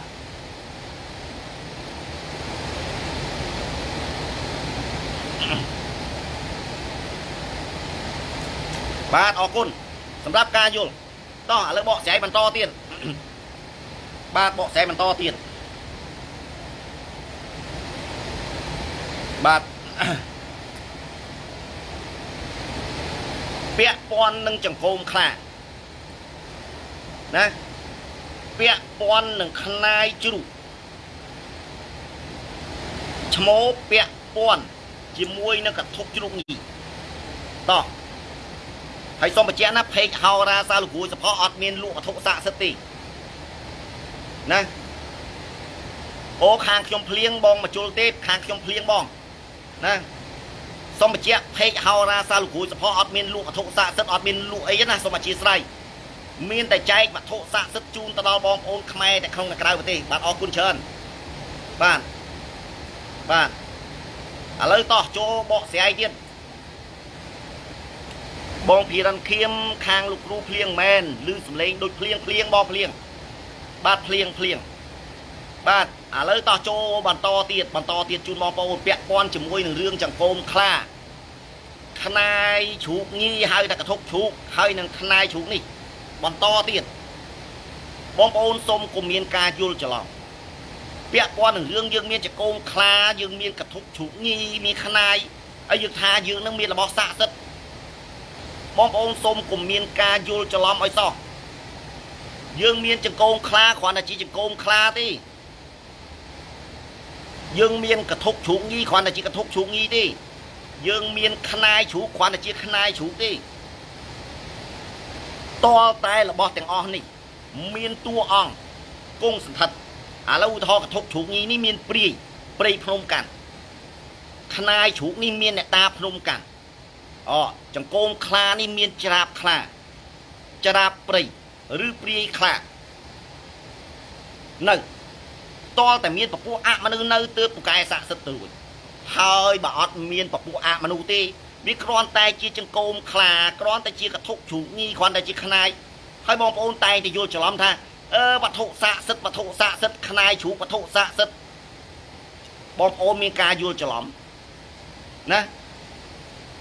ខ្ញុំសូមបញ្ជាក់ជូនបងប្អូនបងប្អូនមានការយល់ច្រឡំណាអញ្ចឹងឥឡូវខ្ញុំបាទសូមធ្វើការបកស្រាយជូនបងប្អូនបាទឥឡូវសូមធ្វើការអានខមមិនបងប្អូនតើឥឡូវបងប្អូនមានអីខមមិនសួរណាបន្តទៀតបងប្អូនមានការយល់ច្រឡំរហូតដល់ថ្នាក់គេបោកប្រាស់បងប្អូនគេគាត់លើកខ្នាយបងប្អូនថាស័ក្តិសិទ្ធខ្នាយជ្រូកតើមានតួអង្គទើបស័ក្តិសិទ្ធតោះឥឡូវបងប្អូន419នាក់សូមចូលរួម share ទាំងអស់គ្នា share ចូល account អ្នកមុំអ្នកមួយបងប្អូន share ចូល account អ្នកមុំអ្នកមួយ share ចូលក្រុមទាំងអស់គ្នាបងប្អូនណា share ចូល account អ្នកមុំអ្នកមួយ share ចូលក្រុមទាំងអស់គ្នាបងប្អូនបើពេញចិត្ត like page ចុច follow ចុច share review កាយ5ថ្ងៃនេះបកស្រាយជូនបងប្អូនឲ្យអស់ចម្ងល់រឿងខ្នាយជ្រូកដែលបងប្អូនឆ្ងល់ថាស័ក្តិសិទ្ធរហូតដល់ថ្នាក់គេលក់ខ្នាយគេថាស័ក្តិសិទ្ធគេថាប៉កែជាប៉កែចុះគេបោកប្រាស់យើងតែបើអ្នកលក់ខ្នាយធម្មតាគាត់លក់តែខ្នាយទេអាហ្នឹងអត់អីទេគាត់ថានេះខ្ញុំលក់ខ្នាយតៃសានេះខ្ញុំលក់ខ្នាយណាជាខ្នាយខ្មែរខ្នាយសុទ្ធ100% តែរឿងស័ក្តិសិទ្ធខ្ញុំអត់ធានាទេអាហ្នឹងគាត់គឺជាមនុស្សត្រឹមត្រូវគាត់គឺជាមនុស្សល្អតែបើអ្នកលក់ខ្នាយមកគេថាណែទិញទៅយកទៅប្រៅអូសុខសบายហេហេរស់ស៊ីមានបានអានឹងគេបោកប្រាស់យើងទីណាគេបោកប្រាស់យើងទីសូមបងប្អូនកុំមានការយល់ច្រឡំណាពាក់ព័ន្ធជាមួយនឹងរឿងរឿងអីរឿងបងប្អូនយល់ច្រឡំឲ្យតែចង្គោមខ្លាំងអឺបងលក់មែនអត់មានលក់ទេសុំបញ្ជាក់អត់មានលក់ទេណា បាទឥឡូវខ្ញុំសូមធ្វើការបកអានខមមិនបងប្អូនយើងបន្តទៀតបាទអឺអឺបងថេងលីមែនមែនហើយលោកគ្រូតែងតែចែករំលែកអឺបទពិសោធន៍ល្អល្អដល់កូនខ្មែរអរគុណច្រើនបងសៀនសុផលកន្លែងអាស្រមលោកគ្រូមានភ្លៀងនៅភ្នំពេញអត់ភ្លៀងទេអូណាកុំឲ្យភ្លៀងអីបាទនៅពេញតែភ្លៀងខ្លាំងអាចណាអាចនឹងមានការពិបាកដល់បងប្អូន ឥឡូវសូមធ្វើការបកស្រាយបន្តទៀតសូមធ្វើការបកស្រាយបន្តទៀតដើម្បីបងប្អូនជៀសចាក់ផុតពីការចាញ់បោកតោះសូមស្នាមមីដងទាំងអស់គ្នាស្នាមមីដៃទាំងអស់គ្នាសៀទាំងអស់គ្នា បងម៉ៅសុកសុកវ៉ាល្អណាស់លោកគ្រូដែលបានបកស្រាយជូនបងប្អូនឲ្យដឹងការពិតបាទអរគុណបាទអឺរស់ណានាវត្ថុស័ក្តិសិទ្ធិពេលណា អឺពេលរិស័យដាក់មានបញ្ហាអត់អូខេបងរស់ណាណាគាត់ខមមិនថាកាន់វត្ថុស័ក្តិសិទ្ធិពេលរិស័យដាក់មានបញ្ហាអត់ល្អខមមិនល្អជូនមីដៃមួយឥឡូវបងប្អូនចង់ខ្ញុំបកស្រាយលម្អិតអត់ពាក្យវត្ថុស័ក្តិសិទ្ធិឧទាហរណ៍ចង្គោមខ្លានេះមានតួអង្គកធុកជ្រូកនេះមានតួអង្គខ្នាយជ្រូកនេះមានតួអង្គ ទៅជាវត្ថុស័ក្តិសិទ្ធិពាក់ពេលរិស័យដាក់មានបញ្ហាអត់ចឹងបងប្អូនយើងទាំងអស់គ្នាបងប្អូនយើងទាំងអស់គ្នាចង់ដឹងអត់ពាក់ព័ន្ធនឹងពាក់វត្ថុស័ក្តិសិទ្ធិហើយពេលរិស័យធ្លាក់មានបញ្ហាអត់ណាឥឡូវចង់អត់បើចង់ចូលរួមខមមិនចង់ទាំងអស់គ្នាហើយចូលរួមស្ទះទាំងអស់គ្នាណាបងប្អូនបើចង់ចូលរួមខមមិនចង់ទាំងអស់គ្នាស្ទះទាំងអស់គ្នាគង់លឹមបាតប៉ាចែកចាយការយល់ដឹងល្អណាស់ប៉ាអរគុណច្រើនកូន តោះឥឡូវបងប្អូនទាំងអស់គ្នាសុំស្នាមបេះដូងទាំងអស់គ្នា ស្នាមមេដៃទាំងអស់គ្នា ចូលរួមការសែទាំងអស់គ្នា បាទខ្ញុំសូមដាក់ទឹកមកកើតសិនណាដាក់ទឹកមកកើតសិនបាទ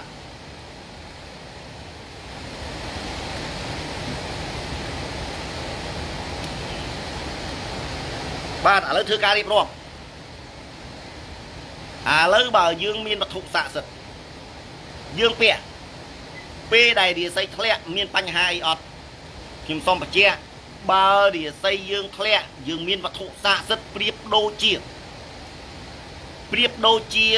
មនុស្សដើរកាត់ភ្លៀងហើយមានអាវភ្លៀងអាវភ្លៀងនៅក្នុងពេលនេះប្រៀបដូចជាវត្ថុស័ក្តិសិទ្ធិណាសូមបញ្ជាក់ពាក្យវត្ថុស័ក្តិសិទ្ធិប្រៀបដូចជា មនុស្សដែលកាត់ភ្លៀងណាមនុស្សដែលដើរកាត់ភ្លៀងមនុស្សដែលដើរកាត់ភ្លៀងហើយគាត់មានអាវភ្លៀងអាវភ្លៀងក្នុងពេលនេះនៃធៀបគឺវត្ថុស័ក្តិសិទ្ធិអញ្ចឹងអាចនឹងទប់ស្កាត់មិនឲ្យភ្លៀងទៅទឹកយើងពេញខ្លួនទាំងអស់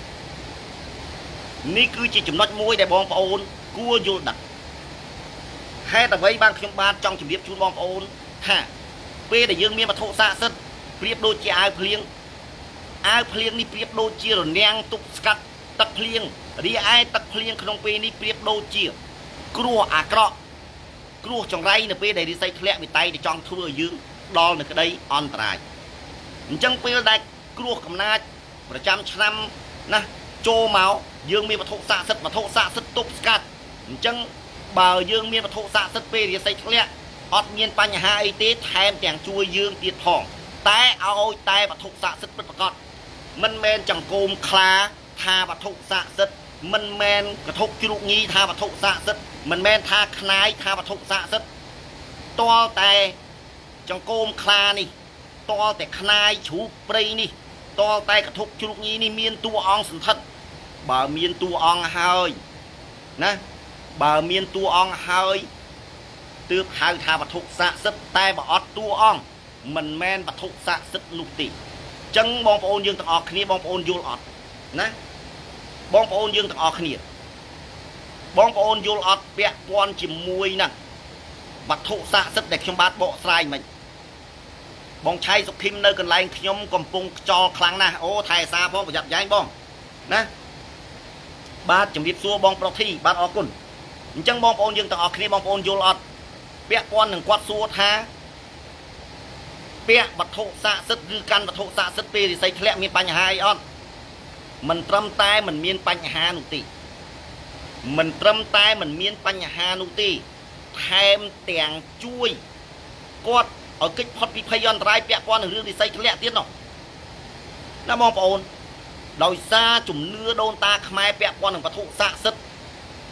វាមានភាពអស្ចារ្យទើបជំនឿដូនតាខ្មែរយើងអត់បាត់បង់មកដល់ពេលនេះហើយក៏អត់មានបាត់បង់ដែរ អញ្ចឹងខ្ញុំបាទសូមធ្វើការដាក់ចុះណាហើយនឹងធ្វើការបង្ហាញជូនបងប្អូន បាទពាក់ព័ន្ធបាទអរគុណសម្រាប់ការយល់តោះឥឡូវបើយល់ហើយស្ដាប់បេះដូងទាំងអស់គ្នាផ្ដល់កម្លាំងចិត្តហើយចូលរួម share ទាំងអស់គ្នា បាទផ្ដល់កម្លាំងចិត្តចូលរួម share ទាំងអស់គ្នាតោះឥឡូវបងប្អូនមានអីចង់សួរនាំបន្តភ្លៀងអញ្ចឹងនិយាយរឿងខ្មោចលើណាបាទអរគុណច្រើន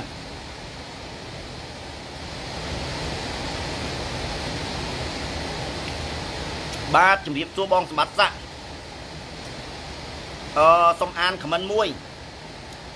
ធ្វើម៉េចឲ្យមានតួអង្គកាន់ក្នុងវត្ថុស័ក្តិសិទ្ធិលោកគ្រូឈ្មោះ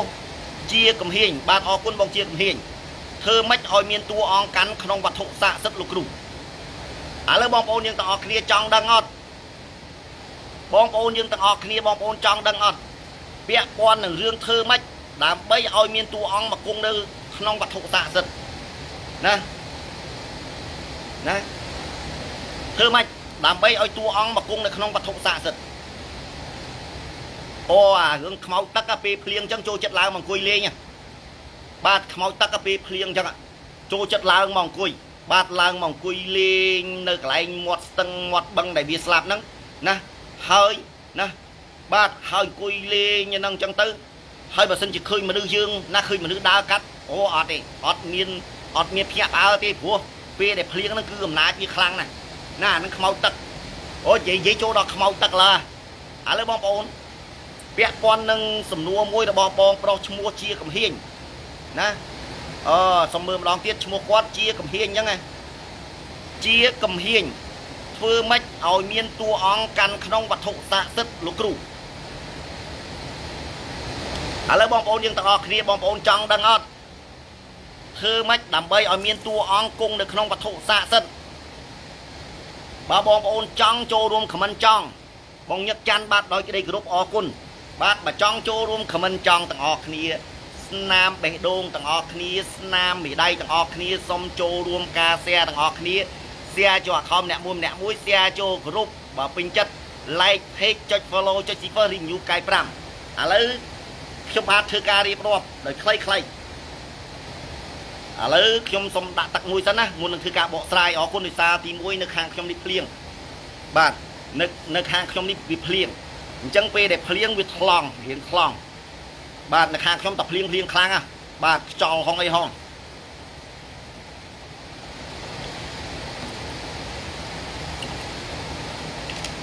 បាទលើសុំដាក់ទឹកមួយសិនអស់ទឹកម្ដងបាត់ទេបងប្អូនណា បាទថែមម្ដងទៀតតែអត់អីទេទឹករឿងទឹករឿងអីអត់បញ្ហាទេបាទបាទឥឡូវតោះបន្តទៀតបងប្អូនធ្វើម៉េចដើម្បីឲ្យមានវត្ថុស័ក្តិសិទ្ធិមកគង់នៅអឺឲ្យមានតួអង្គមកគង់នៅវត្ថុស័ក្តិសិទ្ធិប៉ុន្តែឥឡូវសូមអរគុណសូមអរគុណទៅដល់បងចម្រើនលឺដែលបានជូនខ្ញុំ2លានលុយខ្មែរណាទុកសម្រាប់ទ្រទ្រង់ជីវភាពណានៅក្នុងពេលដែលកំពុងមានការទុកណាបាទទុកដូចថាពីខេត្តមួយទៅខេត្តមួយពីខេត្តទៅក្រុងណា បាទអរគុណច្រើនហើយនឹងមានបងប្អូនជាច្រើនទៀតដែលបានចូលរួមឧបត្ថម្ភណាចិញ្ចឹមខ្ញុំបាទអរគុណច្រើនឥឡូវសូមធ្វើការរៀបរាប់បងប្រុសគាត់សួរខ្ញុំខ្ញុំដូចជាពិបាកឆ្លើយដែរណាបងប្រុសគាត់សួរខ្ញុំខ្ញុំដូចពិបាកឆ្លើយដែរគាត់សួរថា ធ្វើយ៉ាងម៉េចដើម្បីឲ្យមានតួអង្គមកគង់នៅក្នុងវត្ថុស័ក្តិសិទ្ធិឥឡូវធ្វើម៉េចដើម្បីឲ្យមានតួអង្គមកគង់នៅវត្ថុស័ក្តិសិទ្ធិ ឥឡូវខ្ញុំឧទាហរណ៍ខ្នាយជ្រូកនេះជាវត្ថុស័ក្តិសិទ្ធិណាខ្នាយជ្រូកនេះជាវត្ថុស័ក្តិសិទ្ធិកធុកជ្រូកនេះជាវត្ថុស័ក្តិសិទ្ធិ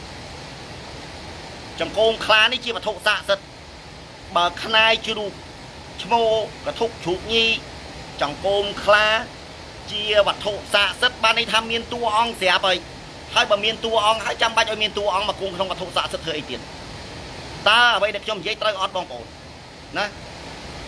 តើអ្វីដែលខ្ញុំនិយាយត្រូវអត់បើបើបើបើវត្ថុស័ក្តិសិទ្ធិបានន័យថាមានតួអង្គហើយហើយបើមានតួអង្គហើយចាំបាច់ឲ្យឲ្យតួអង្គមកនៅក្នុងវត្ថុស័ក្តិសិទ្ធិធ្វើអីទៀតតើអ្វីដែលខ្ញុំនិយាយត្រូវអត់បងប្អូនបើត្រូវសូមចូលរួមខមមិនត្រូវណាបើត្រូវចូលរួមខមមិនត្រូវទាំងអស់គ្នាក៏ប៉ុន្តែគាត់ប្រហែលជាយល់ច្រឡំប្រហែលជាគាត់ចង់ថាធ្វើធ្វើយ៉ាងម៉េចដើម្បីឲ្យមានតួអង្គមកគង់នៅក្នុងខ្នាយ គង់នៅក្នុងចង្កូមគង់នៅក្នុងកធុកជ្រូងញីប្រហែលជាអញ្ចឹងណាប្រហែលជាអញ្ចឹងណាប្រហែលជាគាត់ចង់សួរអញ្ចឹងក៏តែគាត់សួរទៅជាន័យមួយគាត់ថាធ្វើមិនដើម្បីឲ្យមានតួអង្គមកគង់នៅក្នុងវត្ថុស័ក្តិសិទ្ធិចុះបើវត្ថុស័ក្តិសិទ្ធិអីមានតួអង្គហើយតើចាំបាច់យាងតួអង្គមកនៅក្នុងនឹងធ្វើអីទៀតគេមានម្ចាស់គេហ្នឹងបងប្អូនត្រូវចាំបើសិនជាចង្កូមខ្លានេះបើចង្កូមខ្លានេះមានតួអង្គបានន័យថា ចង្កូមខ្លានេះមានតួអង្គគង់ស្ថិតអីបើជាវត្ថុស័ក្តិសិទ្ធិបានន័យថាតួអង្គនៅក្នុងហ្នឹងរបស់នេះជាផ្ទះរបស់គេអីហើយយើងទៅយាងតួអង្គណាផ្សេងទៀតមិនឆ្លោះគ្នាពេញហ្នឹងណាតើអ្វីដែលខ្ញុំនិយាយត្រូវអត់បងប្អូនបើត្រូវចូលរួមខមមិនត្រូវទាំងអស់គ្នាណាបើត្រូវចូលរួមខមមិនត្រូវទាំងអស់គ្នាហើយចូលរួមស្នាមបេះដូងទាំងអស់គ្នាស្នាមបេះដៃទាំងអស់គ្នាចូលរួមបន្តការ share ទាំងអស់គ្នា share ចូល account អ្នកមួយអ្នកមួយ share ចូលក្រុមបើពេញចិត្ត like page ចុច follow ចុច share ហើយ review កាយ5ទាំងអស់គ្នាក៏ប៉ុន្តែខ្ញុំសុំបកនៅអ្វីដែលគាត់ចង់សួរខ្ញុំជឿជាក់ថាគាត់ប្រហែលជាចង់និយាយថា បើគាត់មានចង្កូមខ្លា បើគាត់មានកធុកជ្រូកញីបើគាត់មានខ្នាយជ្រូកតើធ្វើយ៉ាងម៉េចដើម្បីឲ្យតួអង្គមកគង់នៅក្នុងហ្នឹង អាហ្នឹងប្រហែលជាអញ្ចឹង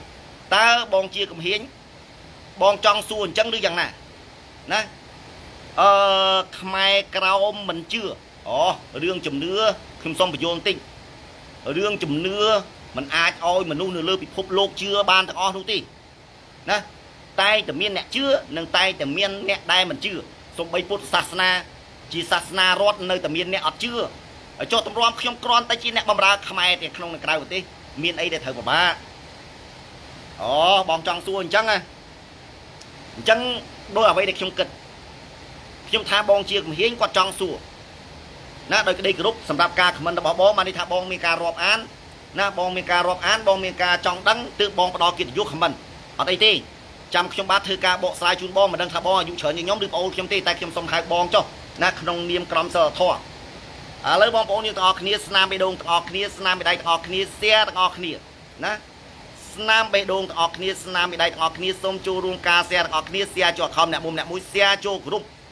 បើពេញចិត្ត like page ចុច follow ចុច Cipher review កែ5ខ្ញុំបាទសូមធ្វើការបកស្រាយជូនមេដៃមួយ បងគុណធាយានក៏ខមមិនថាត្រូវរៀនចប់បាទអឺបងជាកំហៀងអឺយកយកខមមិនរបស់បងគុណធាយានទៅត្រូវហើយត្រូវរៀន បាទគាត់គឺជា friend ដែលតាមដានការ live ខ្ញុំច្រើនហើយបងគុណធាយានតែកុំច្រឡំណាតិចថាបងគុណធាយានហ្នឹងគាត់ជាបាក់ពួកខ្ញុំឬក៏ជា គ្នាខ្ញុំចាំខមមិនអីអត់ទេអញ្ចឹងគាត់ជួយឆ្លើយឲ្យមួយម៉ាត់នេះគឺល្អជូន100បន្ទុកណាសម្រាប់ friend ចាស់ដែលតាមដានយូរហើយមានចំណេះជំនាញត្រូវរៀនបាទត្រូវរៀនដើម្បីឲ្យតួអង្គមកគង់សន្ធិដ្ឋនៅខ្នាយជ្រូកនៅកធុកជ្រូកញី នៅចកូនខ្លារៀនរៀនហើយកុំសួរខ្ញុំថារៀននៅណារកគ្រូរៀនណាណាបាច់សួរខ្ញុំថាទៅរៀននៅណារកគ្រូរៀនរកគ្រូដែលត្រឹមត្រូវមិនមែនគ្រូដែលដែលគ្រាន់តែទៅទិញសភៅពុំយកមកទិញយកមកអីហើយគិតថាអាចធ្វើបានមិនទេ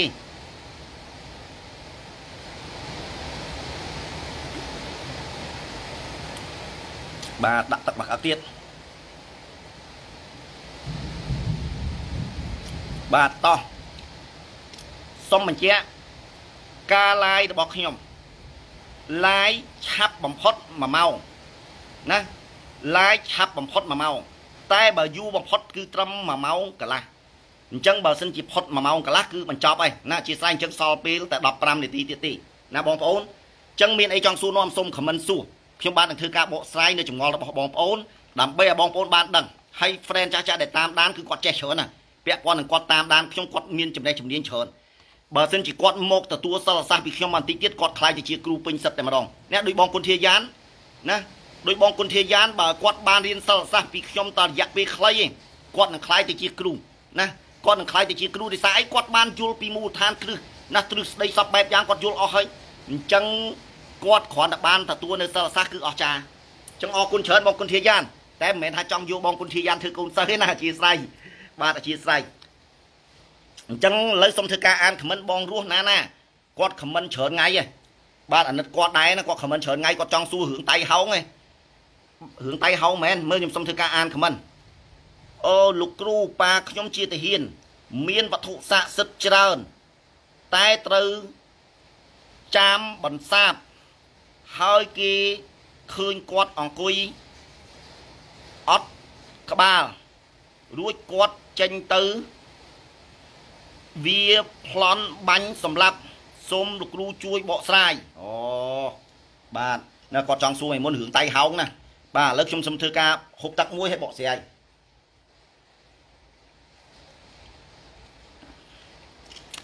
បងរស់ណាណាលោកគ្រូប៉ាខ្ញុំជាទាហាន មានវត្ថុស័ក្តិសិទ្ធិច្រើនតែត្រូវចាមបន្សាប ហើយគេឃើញគាត់អង្គុយអត់ក្បាលអាហ្នឹងគេហៅប្រមាត់យៅកម្រប្រមាត់យៅកម្រងផ្កាឬក៏ហៅថាសេចក្តីស្លាប់ឬមយមរាជណាហ្នឹងប្រមាត់យៅតែខ្លះហៅប្រមាត់យៅអឺរួចគាត់ចេញទៅវាប្លន់បាញ់សម្លាប់សូមលោកគ្រូជួយបកស្រាយពាក់ព័ន្ធនឹងមានវត្ថុស័ក្តិសិទ្ធិគេប្រសាបឥឡូវខ្ញុំបាទសូមធ្វើការរៀបរាប់ឥឡូវឧទាហរណ៍ឧទាហរណ៍ថាចង្គមខ្លានេះមានតួអង្គទៅជាវត្ថុស័ក្តិសិទ្ធិឯឧទាហរណ៍ថា កធុកជ្រូកញីនេះមានតួអង្គទៅជាវត្ថុស័ក្តិសិទ្ធិឯឧទាហរណ៍ថាខ្នាយជ្រូកនេះមានតួអង្គទៅជាវត្ថុស័ក្តិសិទ្ធិឯអញ្ចឹង3នេះជាវត្ថុស័ក្តិសិទ្ធិរបស់ប៉ាបងរស់ណាណាណាគ្រាន់តែជាការឧទាហរណ៍ទេអញ្ចឹងឧទាហរណ៍ថាគាត់មានវត្ថុស័ក្តិសិទ្ធិ3នេះមូលហេតុអ្វីបានគេអាចបន្សាបបានយើងត្រូវសិក្សាពីឫសគល់ព្រោះផលវាកើតចេញពីហេតុណាផលកើតចេញពីហេតុបើសិនជាអត់ហេតុវាអត់មានផលទេ អញ្ចឹងយើងត្រូវចាប់យកឬគល់វា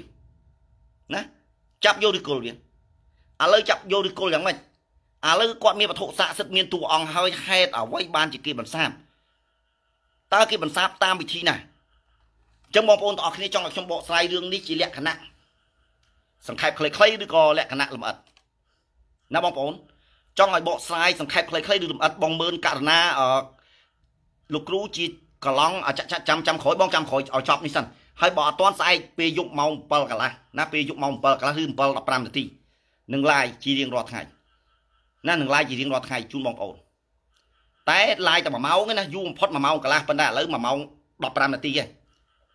ដូចជា1ម៉ោងមិនមែន15ទេ20នាទីទេបាទ1ម៉ោង20នាទីណាបាទបាទមិនដឹងប្រហែលទេបាទ18ហ៎បាទឥឡូវបងប្អូនចង់អត់ ពាក់ព័ន្ធជាមួយនឹងមូលហេតុ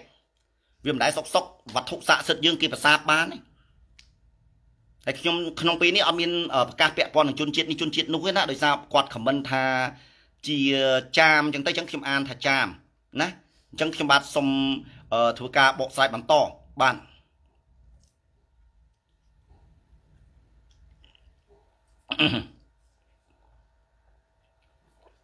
បងស្នា អត់មើលខ្ញុំសរសេរអត់មើលខ្ញុំសរសេរខ្ញុំជឿតែរបស់នឹងពិបាករោគណាស់ហើយសម័យនឹងហើយទៅរោគណាអូមិនខ្វះទេបងណាមិនខ្វះទេចាំខ្ញុំបកស្រាយជូនអត់អីទេប៉ុន្តែអធិស្ឋានខមមិនច្រើនពេកណាបងថាខ្ញុំអត់មើលខមមិនបងក៏អត់ត្រូវដែរព្រោះទី1ខមមិនច្រើនអញ្ចឹងខមមិនច្រើនមើលឃើញខមមិនមួយណាមើលខមមិនហ្នឹងអញ្ចឹងអធិស្ឋាន បាទឥឡូវសុំដាក់ទឹកមកអឹកសិនបាទអធិស្ឋាន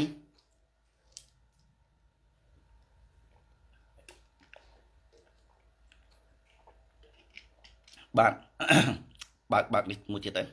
មិញស្រែកកំដរភ្លៀងបាទដល់អញ្ចឹងទៅភ្លៀងវាខ្លាំងខ្លាំងខ្លាំងខ្លាំងអាយើងនេះខំសែកតាមភ្លៀងដល់សែកសែកចង់ស្អកកបាទណា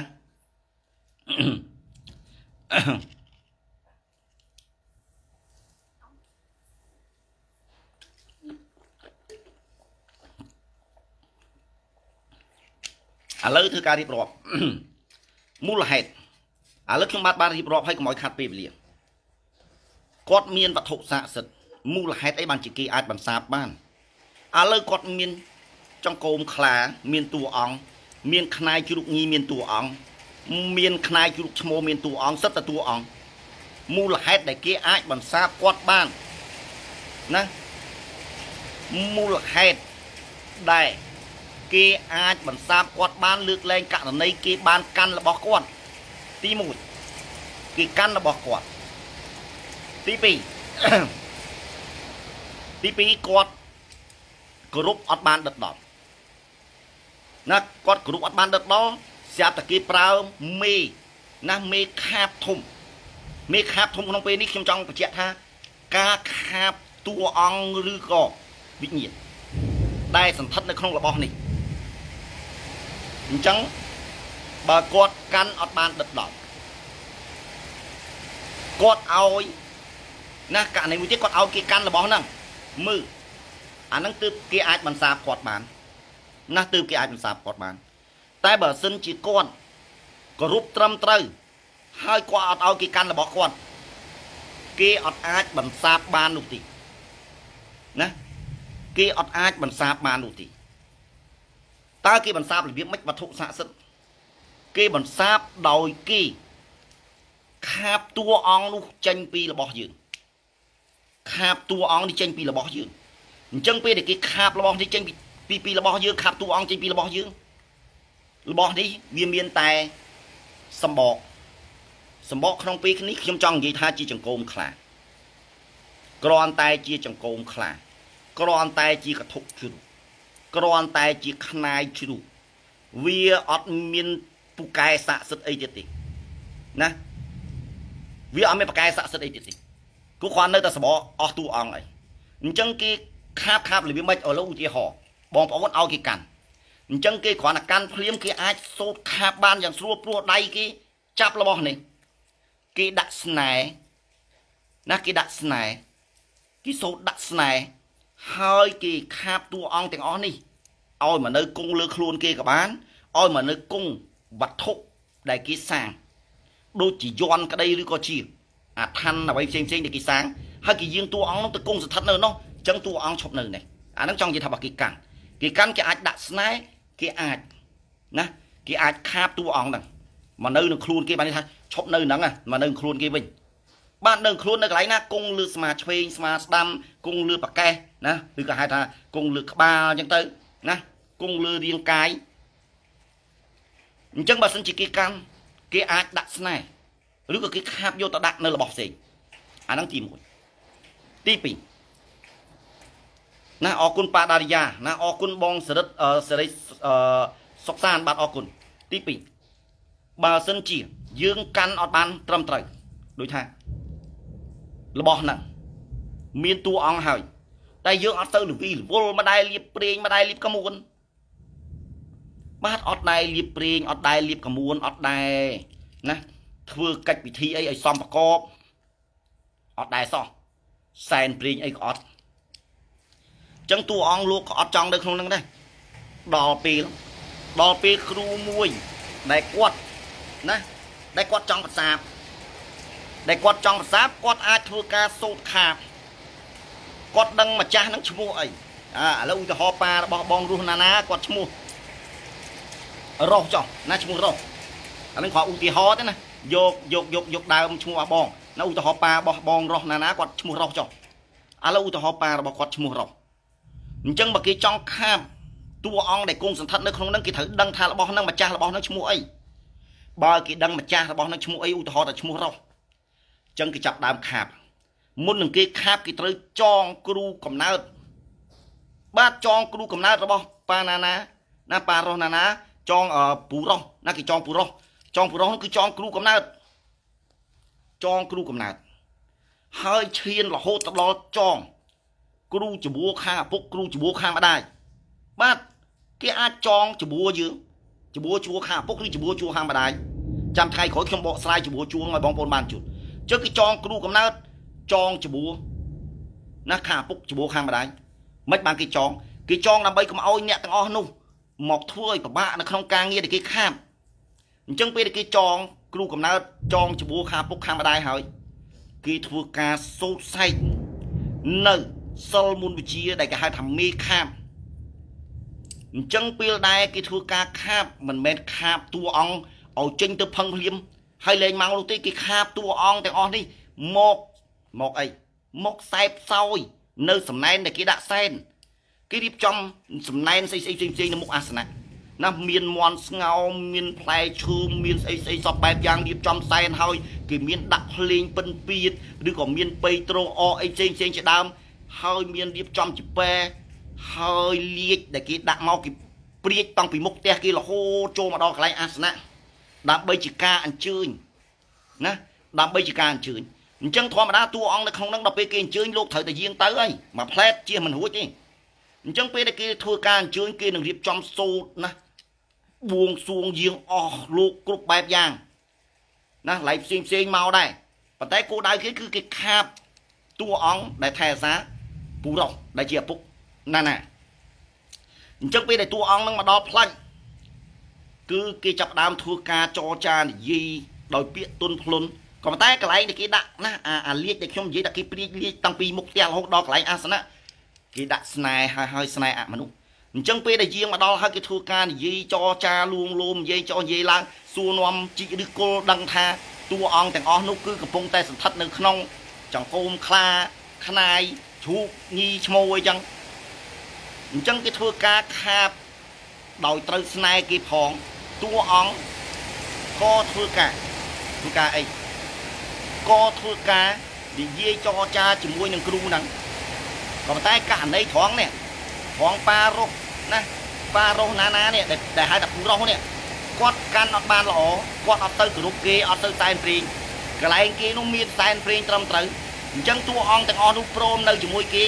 គេក៏រៀបធ្វើកិច្ចពិធីហើយយាងតួអង្គទាំងអស់នោះគង់សន្តិដ្ឋនៅលើរបស់ថ្មីអញ្ចឹងពេលដែលគង់សន្តិដ្ឋនៅលើរបស់ថ្មី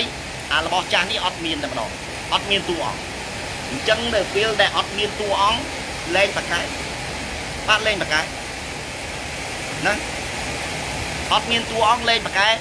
ដល់លេងប៉កែគាត់ចេញទៅក្រៅចេញទៅក្រៅលេងទៅមានភាពគេហៅភាពអីភាពស័ក្តិសិទ្ធនៅក្នុងខ្លួនហើយគួបតំជាមួយណាគេឃើញគាត់គេហៅថាកំបុតក្បាលអត់មានក្បាលអាហ្នឹងគេហៅថាសេចក្តីស្លាប់ឬក៏យមរាជ